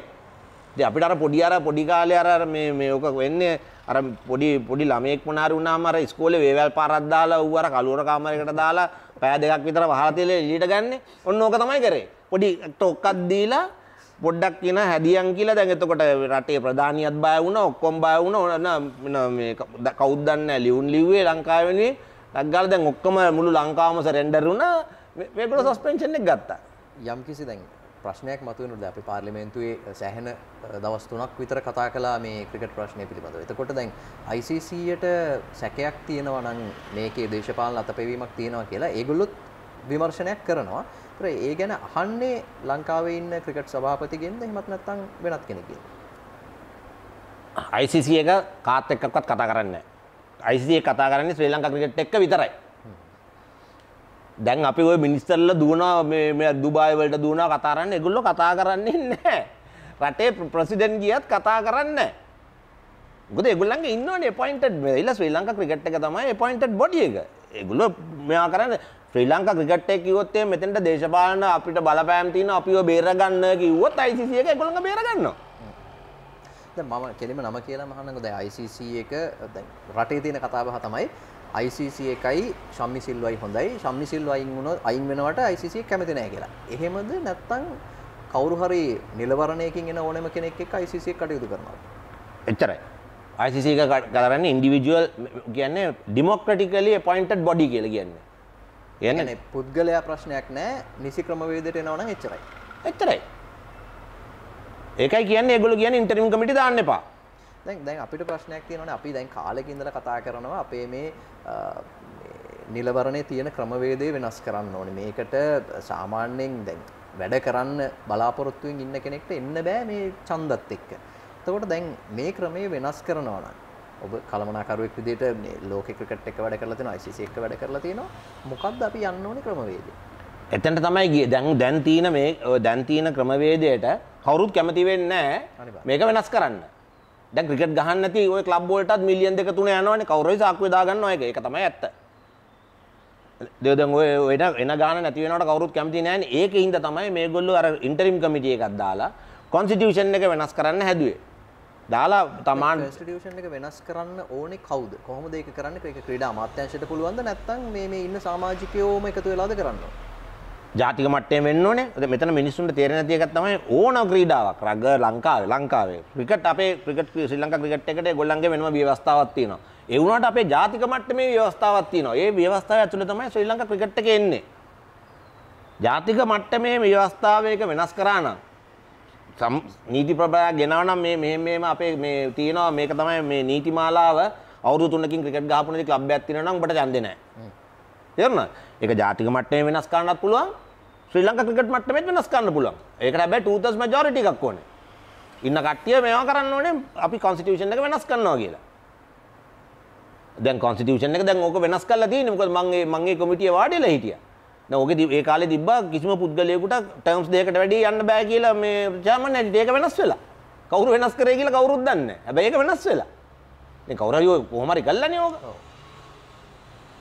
ඔව් දැන් එතකොට අපි අපි දැන් මේ විදිහට අපේ ක්‍රිකට් වලට හොඳ විදිහට රටට හිතකර විදිහට අපේ ලංකාවේ ක්‍රිකට් එක උඩට ගෙනියන්න පුළුවන් විදිහට අපි මේක වෙනස් කරනවා මොන හෝ ක්‍රමවේදයකින්. ඒ කියන්නේ ක්‍රීඩා අමාත්‍යාංශයේ මැදිහත් වෙලා ශ්‍රී ලංකා ක්‍රිකට් ආයතනයේ මැදිහත් වෙලා වෙනස් කරලා අපි ICC ට කිව්වොත් අපේ දැන් යන්නේ මේ විදිහට කියලා ඒගොල්ලෝ ඒක පිළිගන්නවද නැත්නම් ඒගොල්ලන්ට ඒ සම්බන්ධයෙන් ප්‍රශ්නයක් මතුවෙන්න පුළුවන්ද? ක්‍රමවේදයක් තියෙනවා ඉන්දියාවේ කරා වගේ. ICC එකට දැන් මිනිස්තර ගිහිල්ලා ඉන්ටරිම් කමිටියක් දැම්මොත් දැක්කන නේද සස්පෙන්ඩ් කරා. හැබැයි දැන් මෙතන ඔඩිටර් ජෙනරල්ගෙන් එනවා මේක මේක මේ විගණනය කරපුවාම මෙතන තියෙනවා අර මොනවද කියන්නේ ඒකට කියන්නේ මේ ඉරගියුලාරිටීස් එන විශ්ම අර මොකද්ද කියන්නේ අනුකූලත්වයක් නැහැ. අක්‍රමික. ඊළ ඒගොල්ලෝ අක්‍රමිකතාවල් තියෙනවා. ඒගොල්ලෝ කියනවා රයිට්. මේක දාන්න සුප්‍රීම කෝට් එකට. රයිට්. සුප්‍රීම කෝට් එකෙන් අනත් දුන්නොත් අර ඉන්දියාවේ කරා වගේ මේ බෝඩ් එක කරප්ට්. ශ්‍රීනිවාසන් වයින් කළා වගේ. ඕ හරිද ඉන්ටරිම් කමිටියක් දාලා මේක සුද්ධ කරපං ඒලා එතකොට පුළුවන් අපේ ආණ්ඩුවට හරි ස්පෝර්ට්ස් මිනිස්ටර් හරි කියන්න ඕනේ. අපි නෙමෙයි මේක කරන්නේ මේක ඇවිල්ලා තියෙන්නේ රටේ තියෙන ලොකුම තැන. එතකොට ICC එකට ඇඟිලි ගහන්නත් බෑ. ICC එකට කියන්න බෑ කෝට් ඕඩර් එක වැරදි කියලා. හරි තේරුණා? හැබැයි ICC එකට කියන්න ඕනේ මෙන්න කෝට් ඕඩර් එකක් ඇවිල්ලා තියෙනවා. මේක අපිට මේ ක්‍රිකට් බෝඩ් එක සුද්ධ කරන්න කියලා.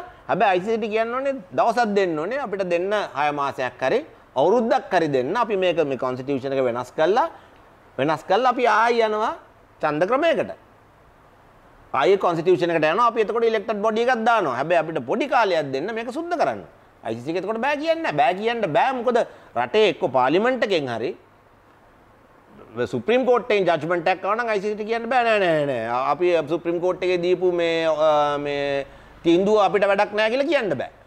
දැන් මේ මේ මේ සම්බන්ධයෙන් මේ මේ ඇත්තටම අපි ක්‍රිකට් ගැන ක්‍රිකට් වලින් කතා කරන නිසා මේ මේ දේශපාලනය මේ පිළිබඳව අපි කතා කරන්න අකමැති මාතෘකාවක් නමුත් අර රටේ බොහෝ දෙනෙක්ට ප්‍රශ්න තියෙන නිසා මෙතන චරිතයත් එහෙම එච්චර ලොකුවට කැමති නැහැ මේ දේශපාලනික සම්- දේවල් සම්බන්ධයෙන් කතා කරන්න. නමුත් මම අන්තිම ප්‍රශ්නය අහන්නම් මේ සම්බන්ධයෙන්. දැන් ඔය ක්‍රමවේදය කරන්න ඕනේ කියලා මේ මාධ්‍ය කරුවන් විදිහට නැත්නම් ක්‍රීඩාල වලින් විදිහට අපිටත් යම් අවබෝධයක් තියෙනවා මේ මෙතන ඉන්න හැමෝටම මේ අවබෝධය තියෙනවා. එතකොට පාර්ලිමේන්තුවේ ඉන්න අයටත් ඒ අවබෝධය නැති වෙන්න බෑනේ. ඇයි අපිට මේක කරගන්න බැරි වෙන්නේ? තමයි දැන් පාර්ලිමේන්තු දැන් පාර්ලිමේන්තුවේ ගිය පාර 225ම දෙසි මංහිතන්න ප්‍රථම වත් වත්තරම පාර්ලිමේන්තුවේ එකන මේක රටේ ලොකු ප්‍රශ්නයක් බවට පත් කරන්න. හැබැයි අර හරි ක්‍රමවේදයට අපි ගිය නෑනේ මේ අධිකරණ ක්‍රමවේදයකට ගිහිල්ලා එහෙම සද්දනතුව කියන්න මේ වැඩේ ලේසි ඒක තමයි. දැ දෙසේ විසි පහම පාර්ලිමේන්තුව එකඟ වුණා. මෙතන මේක සුද්ධ කරන්න එක එකඟ වුණාන. අනිවාර්යයෙන්. එක ප්‍රශ්නයක් නෑන දෙස හැබැයි ඒක වෙනස් වුණා ඒකන්නේ පාලිමෙන්ටකට ඩිය පාපුල් ශ්‍රී ලංක ක්‍රිකට් එක. එතන ඉතින් කවුරරි අල්ලගෙන මොකද රටේ ලොක්ක හිටිය පොඩ්ඩක් දෙපැත්තේ. සස්පෙන්ෂනය කිව්ව ඒ අතර තුර ලියුම් අපි දන්න ම දැකල නෑ ඇබේ මන් දැක්ක මාධ්‍ය දාලා තියනවා රටේ ලියපු ලියුම්. ඔව් ඒක ශ්‍රී ලංකා ලිව කියලා සභාපති කියලා කෙලින්ම සස්පේ ඒ ඔක්කොම මේ මේ මේ ඔක්කොම ප්‍රූ කර රයි මේක සුද්ධ කරන්න කියලා කිව්වා. ඒ අතරතුර අපි සස්පෙන් වුණ. ඊට පස්සේ ඉතින් කරන්න දෙයක් නෑ අර අසරණකමට දැන් අපිට ක්‍රිකට් ඕනමනේ ඒගෙන ඒක නැති කරගන්න විදියක් නැතින් තමයි දෙවනි පාර ඇමතිවරයා එකක් තියෙන්නේ. මොනා වුණත් හිටපු ඇමතිවරයා මේ මේ කරප්ෂන් වෙනුවෙන් සටන් කරපු කෙනෙක් කියන මේ රටේ. හරි දේ කරන්න හදලා නැති වුණා. යථාර්ථය ඒකයි. මම මේ මම මේ පොලිටික්ස් අතේ මොනවත් කතා කරන ඉඳ නෙමෙයි. ඇමතිතුමා මොකක් හරි තීරණයක් ගත්තා මේක සුද්ධ කරනවා කියලා. ඇමතිතුමා ගෙදර ගියා. ක්‍රිකට් බෝඩ් එකේ එහෙම තියෙනවා. ඒකනේ උනේ. පාලිමෙන්ටේ ඉන්දුවක් දුන්න දෙසි විසිපාම කරපන්ගේ ලේක උනෙත් නෑ ඒක දැන් ඔගොල්ල වන්න ක්‍රිකට් බෝඩ් මං හිතන්නේ දැන් රටේ තත්ත්වයට පාර්ලිමේන්තුව අයින් වෙලා ක්‍රිකට් බෝඩ් එක මේ රට දුවන්න ඕනේ. මං හිතන්නේ මේ මේ තියෙන තත්ත්වයටත් වැඩිය හොඳට කරා. ඒක දුන්නොත් එහෙම. ඔව් දැන් ඒ දැන් ඔය සම්බන්ධයෙන් කතා කරනකොට දැන් අපි කලිනුත් කතා කරන්නේ මේ ක්‍රමවේදයක් තියෙනවා කියලා. මම අහන්නේ ඒකයි. දැන් අපිට මේක දැන් මෙච්චර ආందోලනයකට ලක් වෙච්ච නිසානේ මේ ප්‍රශ්නේ මෙච්චර ඔඩුදුවේ. එහෙම නැතුව මේ නීත්‍යානුකූලව කෙලිම විකරණ වාර්තාවක් තියෙනවා. අපිට අධිකරණයට ගිහිල්ලා මේ වැඩේ කරලා ඔන්න දූෂිතයි කියලා අධිකරණ තීන්දුවක් ගත්තා.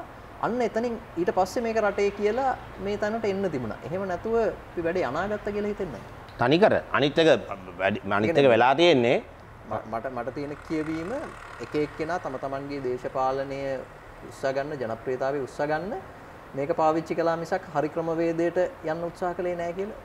අනිවාර්යෙන් දෙපැත්තම වැරදි. ගිය විදිය බ්ලක් ඇන් වයිට් මොකක්ද කරන්න තිබ්බේ කියලා. එක එක්කෙන වගේ වගේ ඒගොල්ලන්ගේ පුද්ගලිකය දාගෙන ක්‍රිකට් එක සුද්ධ කරන්න ක්‍රිකට් ක්‍රිකට් එකේ අලියගේ පිටේ නැගලා යන්න හැදුවා.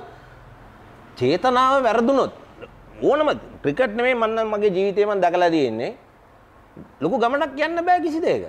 ඒ මොකද උදේ නැගිටලා ඉඳලා ඊට පස්සේ තමාගේ දැන් මට මේ ඉන්ටර්විව් එක කරා මම මොනවද කිව්වේ කියලා මට මට ප්‍රශ්නයක් නෑ. මොකද්ද වෙන්නේ කියලා මං ඔයාලට සුබ පතනවා මේකේ මොන හරි හොඳ දෙයක් වෙයි කියලා. මොකද මම වැරදි දෙයක්වත් හොර දෙයක්වත් නෙමෙයි කියන්නේ. ඇත්ත දේ කිව්වම හරි ලේසි ඕක කරන්න. හැබැයි මම මගේ හිතේ එකක් තියාගෙන ඔයගේ ඉන්ටර්විව් එක කරා නම් මම උදේ නැගිටලා ඉඳලා බලන්නේ මොකක්ද කොමේ වෙන්නේ කියලා.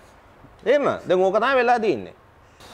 හරි දැන් අපි ක්‍රිකට් දේශපාලනයේ පැත්ත අපහු අපි නතර කරලා අපි එනවා අපහු ක්‍රිකට් පැත්තට මේ ලංකාවේ තනතිරු ගැන කතා කරනකොට මට ලොකු ප්‍රශ්නයක් තියෙනවා. මොකද මම පහුගිය අවුරුදු 4ක කාලය තුල ලංකාව ක්‍රීඩා කරපු හැම අන්තර්ජාතික තරගයක්ම විශ්ලේෂණය කළා. పూర్ව සහ පශ්චාත්.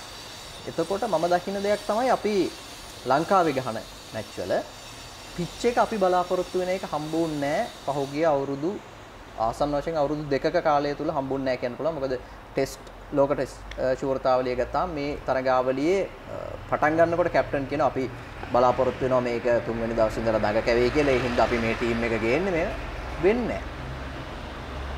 පිච් එක අපි හිතන එක වෙන්නේ අනිත් පැත්ත තමයි මේ අනිත් කණ්ඩායම තමයි තරඟේ දිනන්නේ.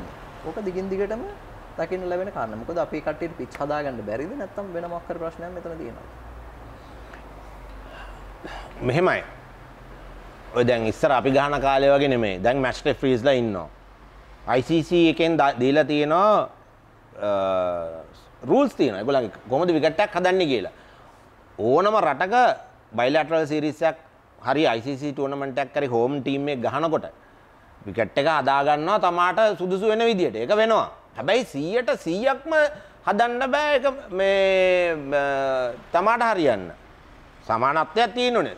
170ක් විතර දැන් ගිය දැන් අපි දැන් මේ කතා කරන අතරේ හයිඩ්‍රබාඩ් වල වුණා වගේ එනවා? ඒ වගේ කැරකෙන විකට් දෙන්න පුළුවන්. මම දැක්කා ඊයේ දැන් කතා කරනවා මේ ඉන්දියානු ඉංගලන්ත කණ්ඩායමේ කෝච් කතා කරනවා. මම ස්පිනර්ලා මාතර දෙනෙක් ගහනවා කියලා. පාස්පෝර්ට් කෙනෙක් නැතුව. ඒ ඒ මෙසේජ් එකක් අරින්නේ ඉන්දියාවට කැරකෙන විකට් දෙන්න එපා කියලා. වාගේ ප්‍රශ්නෙට දෙකක් තියෙනවා. සමහරලාට අපිට කැමති විකට් එක දෙන්න පුළුවන් හැබැයි අනිත් කණ්ඩායමේ ඒගොල්ලන්ගේ ඉන්න ස්පිනර්ස්ලා අපිට වැඩි හොඳට කරොත් එහෙම අර අර අර අර දවල් වලපු කපපු වැඩේ රෑ වැටුණා වගේ වැඩක් තමයි අපිට උනේ. දැන් හොඳ උදාහරණයක් දැන් ඉන්දියාවට වෙච්ච වැඩේ. මුළු ටෙස්ට් මැච් එකටම මම මම මොකද මේ ලංකාවේ පෙන්වෙත් නෑනේ මැච් එක. මම බැලුවා ස්ටැටිස්ටික්ස් බැලුවා බලනකොට ඉන්දියාව මුළු මැච් එකක්ම ගහලා තිබ්බේ රිවර්ස් ස්වීප් 35යි. මිංගලන්ත ගැව්ව 150 ඊටත් වැඩියද කොහෙද? ඔයාලට තේරෙනවද? ඒගොල්ලෝ ගේම් එක මේ ටෙක්නිකලි කොහොමද කරේ කියලා. ඒවයින් තමයි වෙනස් වෙන්නේ. තමාට තනනීරුව දෙන්න පුළුවන්. හැබැයි අර මේ තනනීරුව දුන්නා කියලා අපිට ඒකේ තමාගේ ප්ලෑන්ස් ප්ලෑන්ස් එක්සිකියුට් කරගන්න බැරි නම් කිවරේටට බැලලා වැඩක් නැහැ. අර හැමතිස්සෙම කතාවක් තියෙන horses for courses.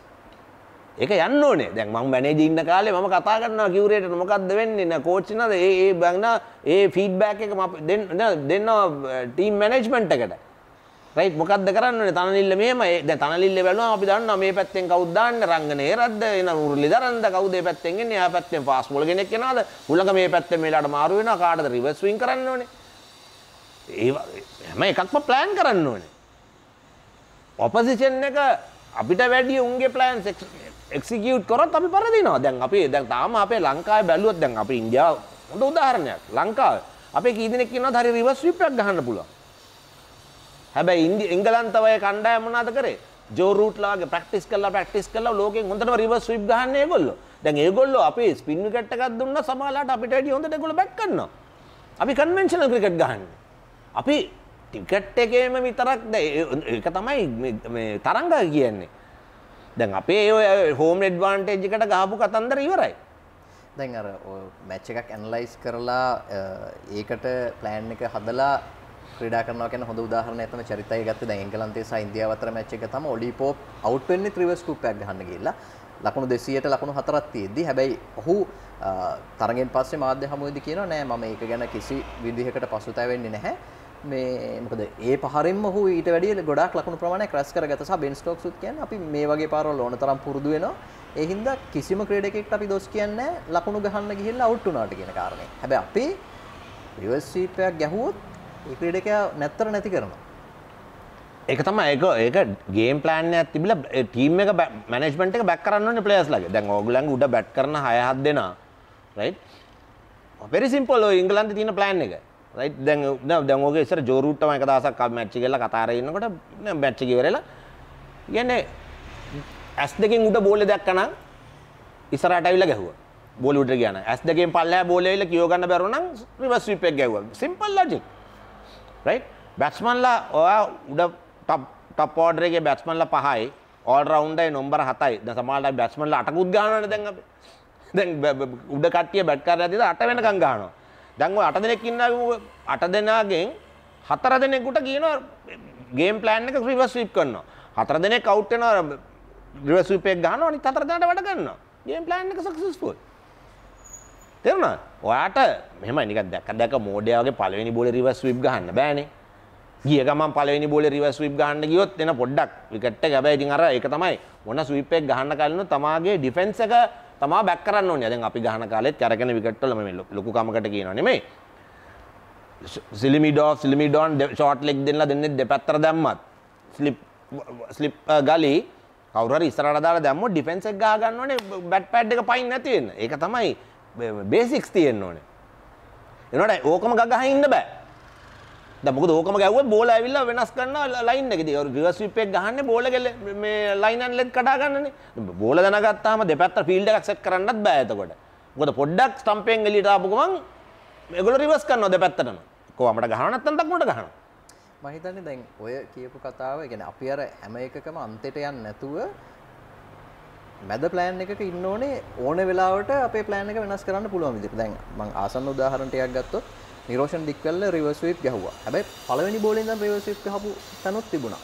එතන මම හිතනවා ඩික්වැල්ලට වැරදුනා කියලා. ඊට පස්සේ අපි ගත්තොත් කුසල් මෙන්ඩිස් හොඳට එයාගේ ෆ්ලික් එකෙන් ලකුණු ගත්තා පහුගිය ලෝක කුසලාන්තරවල. හැබැයි මේක අනිත් කට්ටිය රීඩ් කළා.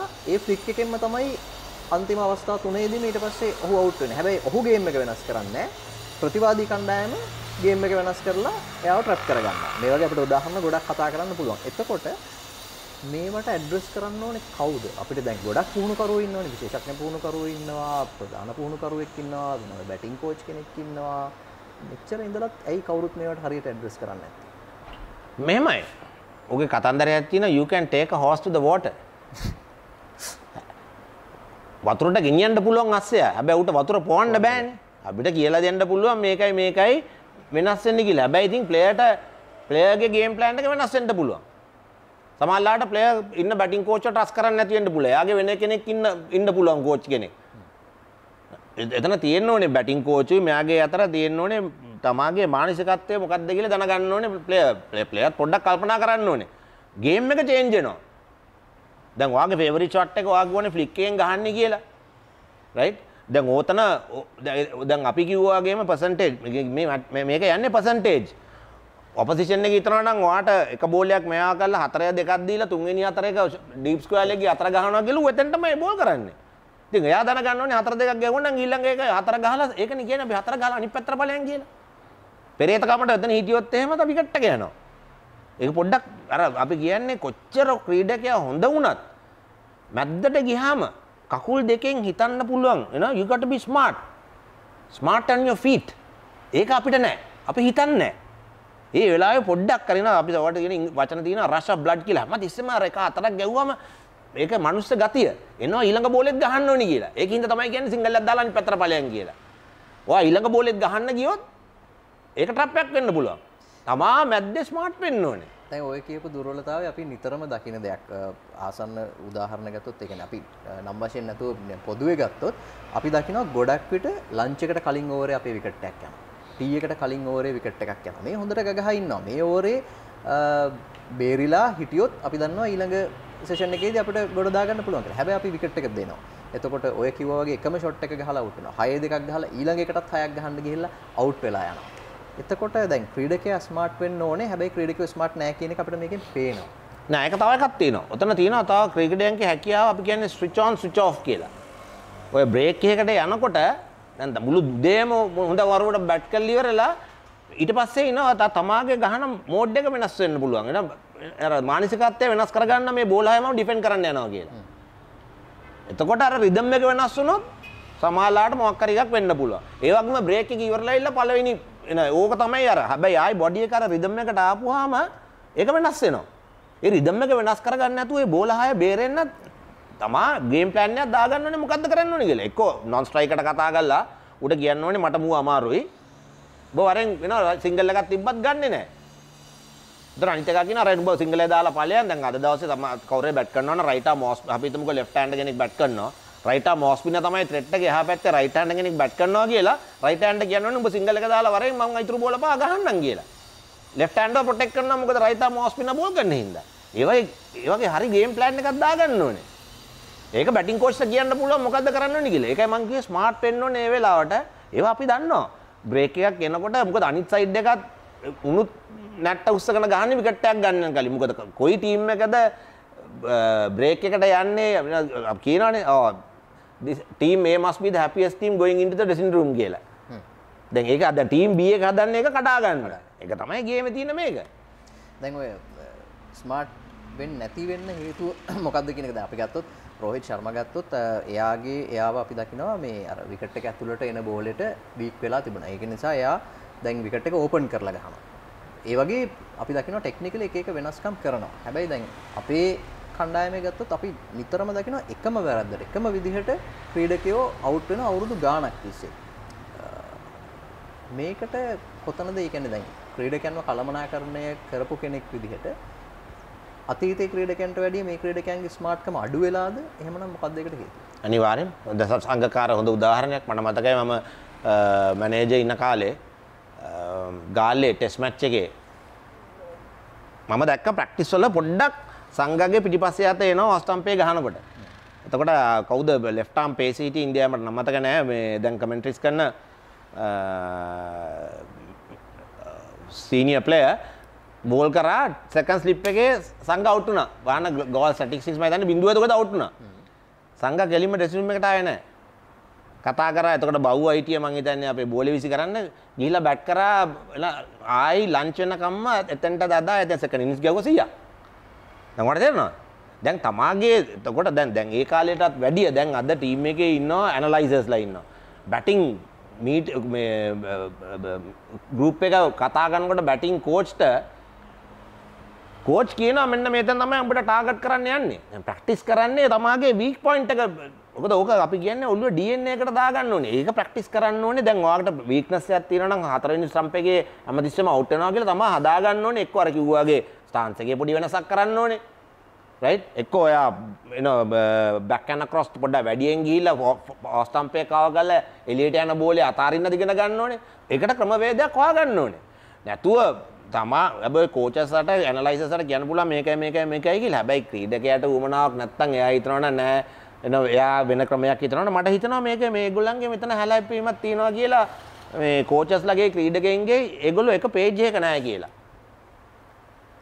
ප්ලේය ට්‍රස් කරන්න ඕනේ කෝච්ච දැන් මොනවනත් අවසානයේදී ක්‍රීඩකයා තමයි බැනුම් අහන්නේ සහ එයාගේ ක්‍රීඩාවට තමයි ඒකෙන් ඩැමේජ් එක වෙන්නේ. රටට සමස්ත වශයෙන් හානියක් වෙන එක වෙන කතාවක්. නමුත් අපි ගත්තොත් පුද්ගලිකව ඒ ක්‍රීඩකයා සමත් වෙනවා නම් ඔහුට තමයි හානිය තියෙන්නේ.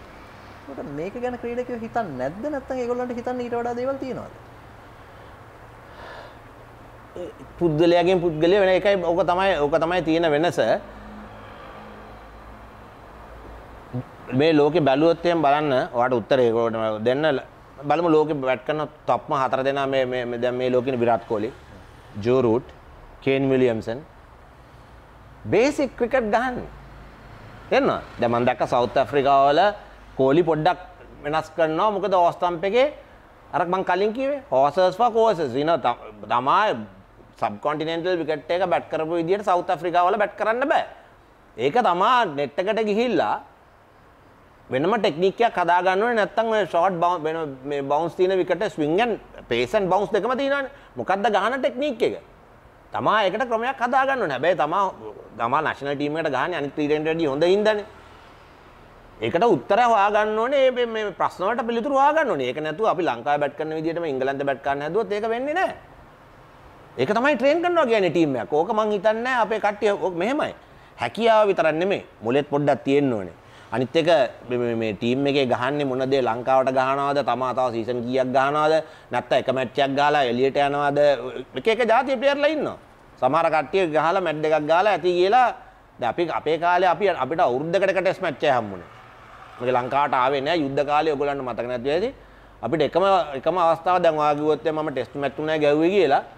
අපිට එකම වෙලාව ටෙස්ට් මැච් එකක් ගහන්නේ කවුරු හරි ටීම් එකක් අපිට ඉන්වයිට් කරන්න ඕනේ. මොකද එක ටීම් එකක්වත් ලංකාවට ආවේ නෑ. තිබිච්ච වාතාවරණය හින්දා. අද එහෙම නෙමෙයිනේ මම දැක්කා දුගේ දාලා තිනවා ටෙස්ට් මැච් 10ක් දුවේ තියෙන කියලා මේ අවුරුද්දට. ගොඩක් ඔපචුනිටිස් තියෙනවා. දැන් එහෙම තියෙනවා නම් අද අද ක්‍රීඩකින්ට අපි ගහන කාලේ නෙමෙයි අපිට ඩොලර් 100 දුවේද ගෙව්වේ මැච් එකකට. දැන් අද හම්බ වෙනවා ඩොලර් 5000කට වැඩිය. 1500 ටෙස්ට් මැච් එක. වෙන්නේ නැති. මම දන්නේ ඒක අඩු කරාද කියලා. මම හිතන විදිහට පොඩ්ඩක් ඒ තිබිච්චෙන් අඩු වුණා. ඉතින් ඔය වගේ තමා හදා ගන්න ඕනේ ගහන්න ගහන්න තමාට හොඳයිනේ තමා ටීම් එකේ ඉන්නේ කොහමද? හරි දේවල් කරන්න ඕනේ. නැත්තම් ලකුණු 20ක් ගහලා මං හිතන්නේ දැන් තියෙන ලොකුම ප්‍රශ්නේ දැන් දන්නවා අපි 20ක් 30ක් ගැව්වම ප්ලේස් එක ෂුවර් කියලා. කාගේවත් නෑ අර අර මේ කෝලි ලගේ විලියම්සන් ලගේ දැන් ගිය උදාහරණයක් ස්ටීව් ස්මිත් පරදිච්ච මැච් එකේ ඕපන් කළා නම්බර් 11 11 නකම ගැව්වා. තව වරකට තිබ්බනම් ස්මිත් මැච් එක ඉවර කරනවා. හා ඒ වගේ වෙන තමා විකට් එකට වැලිුව එකක් දා මං අන්න එතන තමයි වැරදි මං හිතන්නේ කවුරුත් ওই විකට් එකට වැලිුව එකක් දාලා බැට් කරනවා කියලා. ආදරයක් නෑ විකට් එකට. තමා බලා ගන්න ඕනේ විකට් එක මැරුණත් එන දෙන්නේ නැහැ කියලා. දැන් මේ මේ සියල්ලම එක්ක අපිට එන අන්තිම තැන තමයි ක්‍රීඩකයා තමන්ගේ ගේම් එක බලා ගන්න ඕනේ. ක්‍රීඩකයෝ එක එක්කෙනා තම තමන්ගේ ගේම් එක තමන්ගේ වැඩේ හරියට කළොත් ටීම් එක විදිහට අපිව ඉබේම ඉස්සෙනවා. දැන් චරිත් අයියා අවුරුදු 60යි ක්‍රිකට් ගහනවා බොක්සින් ප්‍රැක්ටිස් කරනවා. දැන් මට මෙතෙන් ආවහම කිව්වා බොක්සින් ප්‍රැක්ටිස් කරනවා කියලා. මම දැන් ක්‍රීඩකයෝ ක්‍රිකට් ක්‍රීඩකයෝ ෆුට්බෝල් ගහනවා අපි දැකලා තියෙනවා. මොකටද බොක්සින් ප්‍රැක්ටිස් කරන්නේ? විදු මං හිතන්නේ මගේ ජීවිත කාලය මං ගොඩක් ස්පෝර්ට්ස් ෆලෝ කරනවා කියන්නේ ගෞරව කරනවා මං තව ක්‍රීඩාවක් තමයි අගය කරන රග්බි මොකද ඒක කොන්ටැක්ට් ස්පෝර්ට් එකක් මම බොක්සිං ගැන එක. අහම්බෙන් වෙච්ච දෙයක්. මොකද මම දැක්ක එක පාරක් මං අපේ ඉන්ඩිපෙන්ඩන්ස් ස්ක්වයර්ගේ මං ප්‍රැක්ටිස් කරන්න යනකොට මම දැක්ක ලංකාවේ වූෂු ටීමේ ප්‍රැක්ටිස් කරනවා. පොඩි බාධාවක් කරන්න ඔය ඉන්ඩිපෙන්ඩන්ස් ස්ක්වයර්ගේ සනත් ජයසූරියත් බොක්සිං ගැහුවා කාලයකට කලින්. අපිට මතකයි ඒත් මොකක් හරි මේ මාස්ටර්ස් හරි මොකක් හරි ටූර්නමන්ට් එකක් කිට්ටුව බොක්සිං ගැහුවා ඒ ඒකත් සම්බන්ධ කරලා අපි කියමු. මන් දැක්ක වූෂ ටීම එක ප්‍රක්ටිස් කරනවා. යාලා එතන මගේ යාළුවෙක් තමයි වූෂ ටීම එක මේ ඉන්චාර්ජ් හිටියේ. මම මිනිහට පොඩ්ඩක් කතා කරා මට මේක පොඩ්ඩක් ඉගෙන ගන්න පුළුවන් දෙයක් කියලා. කො වරෙන් බලපන් මොකද වෙන්නේ කියලා. ඊට පස්සේ එතන ඉන්න මං ක්‍රීඩකයින්ට බොහොම ඒගොල්ලෝ ඒගොල්ලෝ දනග ඒගොල්ලෝ හරි කැමති වුණා මම ශ්‍රී ලංකා ක්‍රිකට් එකේ ඉඳලා මෙතෙන්ට ඇවිල්ලා මේ මෙයා කරනවාට. මම ලොකු සමීපකමක් ඇති කරගත්ත සමහර ක්‍රීඩකයොත් එක්ක. දැන් ඊට පස්සේ මම මික්ස් මාෂල් ආර්ට්ස් ගැන ගොඩක් ඉගෙන ගත්තා. මේ ගහගන්න නෙමෙයි මොකද්ද මේ ක්‍රීඩාව කියලා. ඉතින් okay stand ups and take downs එකේ බොක්සින් තමයි 160ක් විතර තියෙනවා ස්ටෑන්ඩ් අප් කියන්නේ මුවාතාය වලට වැඩිය වෙනස්. හැබැයි බොක්සින් තමයි ඕකේ තියෙන ලස්සනම ක්‍රීඩාව. මම බොක්සින් ගැන පොඩ්ඩක් ඉගෙන ගන්න බැලුවා. ඉගෙන ගත්තේ වගේ ප්‍රශ්නෙට මේකෙන් මොකද්ද මේ ක්‍රිකට් වලට මොන හරි මට ගන්න පුළුවන්ද කියලා. ඒකෙන් මට තේරුණා 190ක් දේවල් ඒගොල්ලන්ගේ තාක්ෂණය ක්‍රිකට් වලට පාවිච්චි කරන්න පුළුවන් කියලා. hand eye coordination එකේ ඉඳලා reflexes ඉඳලා කොහෙන්ද power generate කරන්නේ, වා කොහොමද බෝලයක් අයින් වෙන්නේ, ඒවා ඔක්කොම power boxing වල තියෙනවා. ඒ boxing උත් ක්‍රිකට් වගේ ඒක ඉගෙන ගන්න ඉගෙන ගන්න ඒකේ ඉවරයක් නැහැ. හැබැයි බොහොම ලස්සන ක්‍රීඩාවක්. අන්තිමට මම ගෞරව ගන්නවා. මම හිතන්නේ මගේ ජීවිතේ කලකිරීමක් තියෙනවා නම් ටෙස්ට් මැච් තුනක් ගහපු එක නෙමෙයි. මට එක එක මැරෙන්ඩ කලින් එක වතාවක් බොක්සිං රින්ගේ මොකද? මම දැන් දැන් දැන් අවුරුදු ගානක් ඉගෙනගෙන ඉගෙනගෙන ඉගෙනගෙන ඉගෙන තාමත්ම ඉගෙන ගන්නවා. දැන් මට උගන්නපු කට්ටියම ඉගෙන ගත්තේ මම දන්න සුළු ප්‍රමාණය මං ගමේ ඉන්න වගේ අපේ ගමේ ඉන්න කොල්ලන්ටම උගන්නනවා උන් හරි ආසාවෙන් එක ඉගෙන ගන්නවා. හැබැයි බොක්සිං ගහපු කෙනෙක් ක්‍රිකට් වගේ තමයි. ටෙස්ට් ප්ලේයර් කෙනෙක් දැන් කවුරු නිකන් ක්ලබ් ප්ලේයර් කෙනෙක් දැක්කොත් ක්‍රිකට් ගැව්වා කියලා ගෞරවය තියෙනවා. ඒ වුණාට ටෙස්ට් ප්ලේයර් කෙනෙක් කියන්නේ උඹ ටෙස්ට් ගහලා නැහැනේ. ඒ වගේ බොක්සිං ක්‍රීඩාවෙත් එක ක්‍රීඩා එක එක වරාවක් හරි ශ්‍රී ලංකාවේ නැත්තම් ගණන් ගන්න. මොකද ඒක හරි අමාරු ක්‍රීඩාවක්. හැබැයි ඒකෙන් ගන්න තියෙනවා 100ට 100ට 100ක්ම ක්‍රිකට් වලට ගන්න පුළුවන්. ඒක ෆිට්නස් වලින් ඉඳලා. ඔය මං ඕක පටන් ගත්ත කාලේ මට ඔක්කොම hina වෙන්න පටන් ගත්තා. හැබැයි මට හරි කැමතියි දැන් කියන්න. දැන් වෙනම අපේ ට්‍රේනර් කෙනෙකුත් අරන් ඉන්නවා. දැන් 190ක් ඔක්කොමලා බොක්සිං ගහනවා. ශ්‍රී ලංකා ක්‍රිකට් වල. ඔව්. දැන් මේ සනත් අයියා මොකද බොක්සිං ගහන්න ගත්තේ? ෆිට්නස් වලට. හැන්ඩයි කෝඩිනේෂන් අර මං කිව්වා මම අපි කතාවයි කලින්නකොට මොනාත් කරන්න නැතුව මේම අත් දෙක නිකන් උඩ තියාගෙන ඉන්නපු මිනිත්තු තුනක් තියාගෙන ඉන්න පුළුවන් නම් බ්ලඩ් සර්කියුලේෂන් එක අත් දෙකට යනවා නම් බැටිං වලට ඒක ගොඩක් යූස් වෙනවා. හරි අමාරුයි. මේ මෙතන එතන අත් දෙක තියන් ඉන්න. මොනවත් මේ පංච් කරන්නේ මොනවත් නැතුව නිකන් මෙතන ඉන්න විතරක්. ඒක ඇවිල්ලා එතකොට එතකොට ඒක තමයි දැකලාදී ගොඩක් කාර්ය ක්‍රීඩක බැට් කරනකොට අත්වල ක්‍රෑම්ප් වෙනවා. දැන් මේකෙන් මේකෙන් අත් දෙක හදාගත්තා නම් ඒක මේ මසල් සොක්කම හැදෙනවා දැන් මේ කතාවත් එක්ක අපි මීට කලින් මේ වීඩියෝ සිරිස් එක ඇතුලේ කතා කරලා තියෙනවා ග්ලෙන් මැක්ස්වෙල් ගොල්ෆ් ක්‍රීඩාව කොහොමද ක්‍රිකට් වලට පාවිච්චි කරන්න කියලා. ඊට පස්සේ දැන් අද චරිත අයියා වෙනම පැත්තක් පෙන්ලා දෙනවා බොක්සිං ක්‍රීඩාවෙන් ක්‍රිකට් වලට ගන්න පුළුවන් දේවල් මොනවද කියලා. පාරක් ගහනකොට එන අර හිප් මූවමන්ට් එක. එතකොට මේ කිව්වා වගේ අත් දෙක එක විදිහකට තියාගෙන ඉන්නකොට එතනින් ගන්න පුළුවන් දේවල් ක්‍රිකට් වලට බොහෝ දේවල්.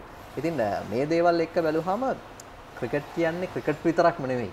මෙතනින් එහාට ගොඩාක් දේවල් තියෙනවා ක්‍රිකට් ක්‍රීඩාවට උපයෝගී කරගන්න පුළුවන් දේවල්. ඒ දේවල් තමන් හොයාගෙන යන්න හැමදේම ජීවිතේ හැමදේම එහෙමයි. දැන් මම ගහන කාලේ මම කවදාක රිවර්ස් ස්විප් එකක් ගහලා නැහැ. අපි දන්නෙත් නැහැ. දැන් බේස්බෝල් වල තියෙන ටෙක්නික් 160ක් 70ක් ක්‍රිකට් වලට ඇවිල්ලා තියෙනවා. රගවල තියෙන ස්ලයිඩ් කරන්නේ මොන මේ මේ ෆීල්ඩ් එකේ අපි ගහන කාලේ අපි දැනගෙන හිටියේ නෑනේ කොහොමද කියලා ස්ලයිඩ් වෙන්නේ. දැන් ඩයිව් අපි නිකන් ගෑනේ බෝලේ ගිහිල්ලා ඩයිව් කරනවා අත පය කකුල් ඉවරයි පැන්න ගමන් මොකද අපි හරි ටෙක්නික් එකක් තිබ්බේ නෑ. හැබැයි රග ප්ලේ කෙනෙක් දැක්කත් ඒගොල්ලෝ දන්නවා බෝලේ ටක් කළා කොහොමද දැන් ක්‍රිකට් වලට පාවිච්චි කරන අය ඔක්කොම technique. Football technique, rugby techniques, baseball technique, golf technique. මට ප්‍රශ්න එල්ලේ වලින් හරි කමන්නේ හොඳ මොකක් හරි තාක්ෂණයක් තියෙනවා නම් පල්ලෙහා කරලා බලන්න හොඳ නැහැ තව ක්‍රීඩාවක් ගැන. එන හිතන්න බෑ ක්‍රිකට් තමයි හොඳම ක්‍රීඩාව අනිත්‍යව නෙමෙයි. ගෞරවත්වයෙන් බැලුවොත් මේ ක්‍රීඩාවෙන් මට මොන හරි ඉගෙන ගන්න පුළුවන්ද කියලා. චෙස් හරි කමන්නේ. මොලේ හදාගන්න. කොහොමද කොන්සන්ට්‍රේට් කරන්නේ සෙෂන් එකෙන් සෙෂන් එකට බෝලෙන් බෝලේ. මොකද්ද බෝලගේ මොකක්ද එක බෝලයක් දාලා මූ කොහෙටද බෝල් කරන්නේ. ගමාට ගේම් එක රීඩ් කරන්න පුළුවන් නම් තමා එක ස්ටෙප් එකකට වැඩිය ඔපොසිෂන් එකෙන් ඉන්නවා නම් හැමතිස්සෙම උඩින් ඉන්නේ. ඒකට ඕනම ක්‍රීඩාවක තියෙන හොඳ දේවල් ගන්න පුළුවන්. දැන් පහිතන අපි ක්‍රිකට් පිළිබඳව ගොඩක් දේවල් කතා කළා මේ කතාවේ අවසානයේදී ඔබට තේරෙනවා ඇති ක්‍රිකට් ක්‍රීඩාව කියන්නේ මේ ග්‍රවුන්් එකේ බැට් එකෙන් බෝලට ගහන එක විතරක් නෙමෙයි ඊට වඩා බොහෝ දේවල් තියෙනවා මේක ඇතුලේ කතා කරන්න සහ ක්‍රීඩකයෙක්ට හිතන්න. අපි විදු හැමදාමත් මේ වීඩියෝ සීරීස් එක ඇතුලේ කතා කරන්නේ ඉස්සරහට එන්න ඉන්න ක්‍රීඩකයන්ට. පාසල් ක්‍රීඩකයෝ බොහෝ දෙනෙක් මේක බලනවා. ඒ වගේම ක්‍රීඩා සමාජවල ක්‍රීඩකයෝ බොහෝ දෙනෙක් බලනවා. ඔයාලගේ ගේම් එක ඔයාලට උත්සාහ ගන්න බොහෝ දේවල් තියෙනවා. අපි කාටවත් බ්ලේම් කර කර ඉන්නවට වැඩිය අපිට අපේ ගේම් එක උත්සාහ ගන්න ගොඩක් දේවල් කරන්න හැකියාවක් තියෙනවා. අන්තිම ප්‍රශ්නේ දැන් චරිත අයියාගේ මේ ගොඩක් දේවල් ගැන කතා කළා. අර කමෙන්ටේටර් කෙනෙක් විදිහට ආපු දේවල් ගැන මම කතා කළේ නෑ. මේ සියලුම දේවල් එක්ක චරිත සේනානායක කියන්නේ හොඳ සංනිවේදකෙක්. ඊටාම හොඳ සංනිවේදකෙක් මම හිතන්නේ කලමනාකරුවෙක් විදිහට කටයුතු කරන්නත් අලෙවි කලමනාකරුවෙක් විදිහට කටයුතු කරන්නත් ඒ සංනිවේදන හැකියාව උපකාරී වුණා. Drink with Charith YouTube channel එක තියෙනවා. ඒ වගේම Facebook එකේ චරිත අයියා මේ අපේ හිටපු ජ්‍යෙෂ්ඨ ක්‍රිකට් ක්‍රීඩකයෝ එක්ක ඉතාම රසවත් වැඩසටහනක් කරනවා ඉංග්‍රීසි භාෂාවෙන් අපිට ඉගෙන ගන්න ගොඩක් දේවල් තියෙන මේ sannivedanaya කොහොමද ක්‍රීඩකයෙක්ට බලපාන්නේ මොකද අපි දැක්ක පහුගිය කාලේ ක්‍රීඩකයෝ කියපු කතා වලින් අපේ ප්‍රේක්ෂකයෝ ගොඩක් බිඳුණා ක්‍රීඩකයෙක්ට sannivedana ඊටාම වැදගත්. ඒක උගන්වන්න ඕනේද? Taman ඉගෙන ගන්න ඕනේද? කොහොමද sannivedana ක්‍රීඩකයෙක් හරියට පාවිච්චි කරන්න? ඕනේ ඒකත් මං උදාහරණයකින් වාට කියන්නම්. කමියුනිකේෂන් කියන්නේ තමා කොච්චර ලෝකේ හොඳ ප්ලේයර් කෙනෙක් වුණත් වැඩක් නැහැ. තමාට ලෝකෙට කතා කරන්න බැරි නම් තමාගේ මාකටබිලිටි එක බහිනවා. මගේ පළවෙනි පාර 2008 මැනේජිනකොට හර්බජාන් සිං ලංකාවට ආවා වචන දෙකක් හරියට කතා කරගන්න බෑ ඊළඟ පාර හර්බජාන් මට හම්බ වෙනකොට මම දැක්ක හර්බජාන් කමෙන්ටරිස් කරනවා ඉංග්‍රීසි වලින් ටීවී එකේ. මං ඇහුවා හර්බජාන්ගෙන් කොහොම මොකද්ද කොහොම මොකද්ද මේ ට්‍රාන්ස්ෆර්මේෂන් එක කොහෙන්ද ආවේ? ඌ තමයි කිව්වේ. මම මොකා වුණත් මට මිනිහෙකුත් එක්ක මගේ හැකියාවල් අනිත් රටවල් වලට කියන්න බැරි නම් මට හින්දි භාෂාවෙන් කියන්න පුළුවන්. එතකොට එයාගේ හැකියාව ඉන්දියා ඉන්නේ දැන් ලංකාව බැලුවොත් අපේ 23 million people මිලියන 23යි. ඒකිනුත් ක්‍රිකට් බලනවා ඇති මන් දන්නේ නැහැ මිලියන් 3ක් 4ක් වගේ කීයක් හරි බලමු බලනවා කියනකො දැන් අපි සිංහලෙන් කතා කරලා එතකොට අපි බලන්නේ මේ හතරෙන් ඒ දැන් ඒකිනුත් දැන් 170ක් විතර ක්‍රිකට් බලන්නෙත් නැහැ වැඩිපුර බලන්නේ ලෝකෙ පිට මිනිස්සු ඉතින් අපි සිංහලෙන් කතා කරලා පාකිස්තානයේ හරි ඉන්දියාවේ හරි ඉංගලන්තේ ඉන්න එකෙකුට තේරෙන්නේ නැහැ අපි මොනවද කියන්නේ කියලා දැන් අපිව ප්‍රොමෝට් කරගන්න නම් අපි ඒගොල්ලොත් එක්ක කමියුනිකේට් කරන්න ඕනේ ඒකට ක්‍රිකට් වගේම තමාගේ කමියුනිකේෂන් ස්කිල්ස් හදා ගන්න ඕනේ. ඔයා දන්නේ නැති එකක් තමයි මම ටෝනි ග්‍රෙග් එක්ක කමෙන්ටරි කරා. මම ලංකාවෙන් යන්න කලින්. හැබැයි මට තේරුණා මගේ තිබිච්ච මම ආනන්දෙන් ආවේ. මට මට හැකියාව මට අඩු වුණා. මට තේරෙනවා මොකද්ද වෙන්නේ කියලා කියා ගන්න බෑ. ඒක එක්ස්පීරියන්ස් එකත් එක්ක එන්න ඕනේ. දැන් අද වෙන තුරාට මම පොඩ්කාස්ට් එකක් කරනවා. මම දැන් පිටරට කට්ටිය කතා කරා මේ මේ ගොඩක් ෆොරින් ප්ලේසස් ස්ටුවර්ට් ලොග් ඉඳලා ග්‍රේම් ෆෝඩ් you ගොඩක් කට්ටිය මාත් එක්ක කතා කරා. දැන් වට්මෝ දැන් ඒගොල්ලෝ දැන් අපිට වෙලා තියෙන්නේ අපි දැන් තව එකක් තමයි හොඳ දෙයක් අපි ඇයි මේ පිටරට කෝචස්ලා ගේන්නේ කියලා. ඇයි? ඒගොල්ලන්ගේ කමියුනිකේෂන් ස්කිල්ස් හොඳයි. මෑන් මැනේජ්මන්ට් හොඳයි. දැන් අපේ මේ දෙන්න ඉන්න කෝචස්ලා කෑ ගහනවා අපිට දෙන්නේ නැහැ chance එකක්. ඒගොල්ලන්ගේ හැකියාව ප්‍රශ්නයක් නැහැ. හැබැයි එතනින් එයාට කමියුනිකේට් කරගන්න බෑ. ක්‍රිකට් වගේම තමාගේ කමියුනිකේෂන් ස්කිල්ස් හැදුනොත් ක්‍රීඩාව ක්‍රීඩා විතරක් නෙමෙයි ජීවිතේ තමා ජීවිතේ බලන හැටි තමාගේ පුද්ගලිකව තමා වෙන මිනිස්සෙක් වෙනවා ඉගෙන ගන්න ඉගෙන ගන්න ඉගෙන ගන්න. ඒක ඉවරකුත් නැහැ. ඒක නතර නොකරම මේකේ වැඩ කරන්න ඕනේ. කතා කරන්න කතා කරන්න දැන් මගේ පොඩ්ඩක් සිංහල මලකඩ ගාලා තිබ්බේ. දැන් මේ ගිය දවස් දෙක තුනේ මේ මේවා කල්ලා කල්ලා මට මට තේරෙනවා කතා කරන්න කතා කරන්න තව හොඳ වෙනවා කියලා. මට තේරුණාද? ඒ වගේම තමයි අපි නෙට් එකට ගිහිල්ලා ප්‍රැක්ටිස් කරනවා වගේ මැච් එකක් ඉවරලා ආපුවම බැලුවොත් මොහොත මේ ඉංගලන්ත ක්‍රීඩකයෙක් ඕස්ට්‍රේලියා ක්‍රීඩකයෙක් මම ඇස් දෙකට දැකපු දෙයක්. රෙස් ඩේ එකේ ඒගොල්ලෝ ආවොත් රෙස් ඩේ එකේ පූල් එකට ගියා සොෆ්ට් ඩ්‍රින්ක් එකක් හරි මොකක් හරි ගත්තා. ඩෙක් එකකට අර මේ අර මේ පූල් ඩෙක් එකකට ගියා. තඩි පොත් කියවන්නේ. මුළු දවසේම පොතේ කියවන්නේ. අපේ කට්ටිය මොනවද කරන්නේ? තඩි ටෙලිග්‍රෑම් කිසි ප්‍රශ්නයක් නැහැ. මට ටෙලිග්‍රෑම් බැලුවට ඒක ප්‍රශ්නයක් නැහැ. කො ලෝකේ තියෙන මොකක් හරි මලා ජරා විකට එකක් දැන් දැන් ඔයාගේ ඔය කරන ප්‍රෝග්‍රෑම් එකේ මම කරන ප්‍රෝග්‍රෑම් එකේ රියැලිටි ප්‍රෝග්‍රෑම් මිනිස්සු බලන්නේ නැහනේ මොකක් හරි ජෝක් එකක් දැක්කොත් දැම්මොත් එහෙම ඔක්කොම මිනිස්සු බලනවා ඒකෙන් තමාගේ ඔළුවට මොනවත් වෙන්නේ නැහැ ඊට වඩා හොඳ කාගරි පොඩ්කාස්ට් එකක් අහන එක තව ක්‍රීඩකෙක් කතා කරන එක අහන එක දැන් ඔයාලා අශ්වින්ලා බලනකො ඔයගොල්ලෝ පොඩ්කාස්ට් ඔක්කොම ඒ කරන්න ඒක කරන්න කරන්න කරන්න තව මිනිකුත් එක්ක කතා කරනකොට තමාගේ මුලේ පෑදෙනවා. ඒක තමාගේ ක්‍රීඩාවටත් හොඳයි. ෆෝකස් එකට හොඳයි. ක්‍රිකට් එක වගේම මේකටත් ඒ විදිහට වැඩ. ඒක තමාගේ කමියුනිකේෂන් ස්කිල්ස් හොඳ වෙන්න හොඳ වෙන්න මාකටබිලිටි එක වැඩි වෙනවා.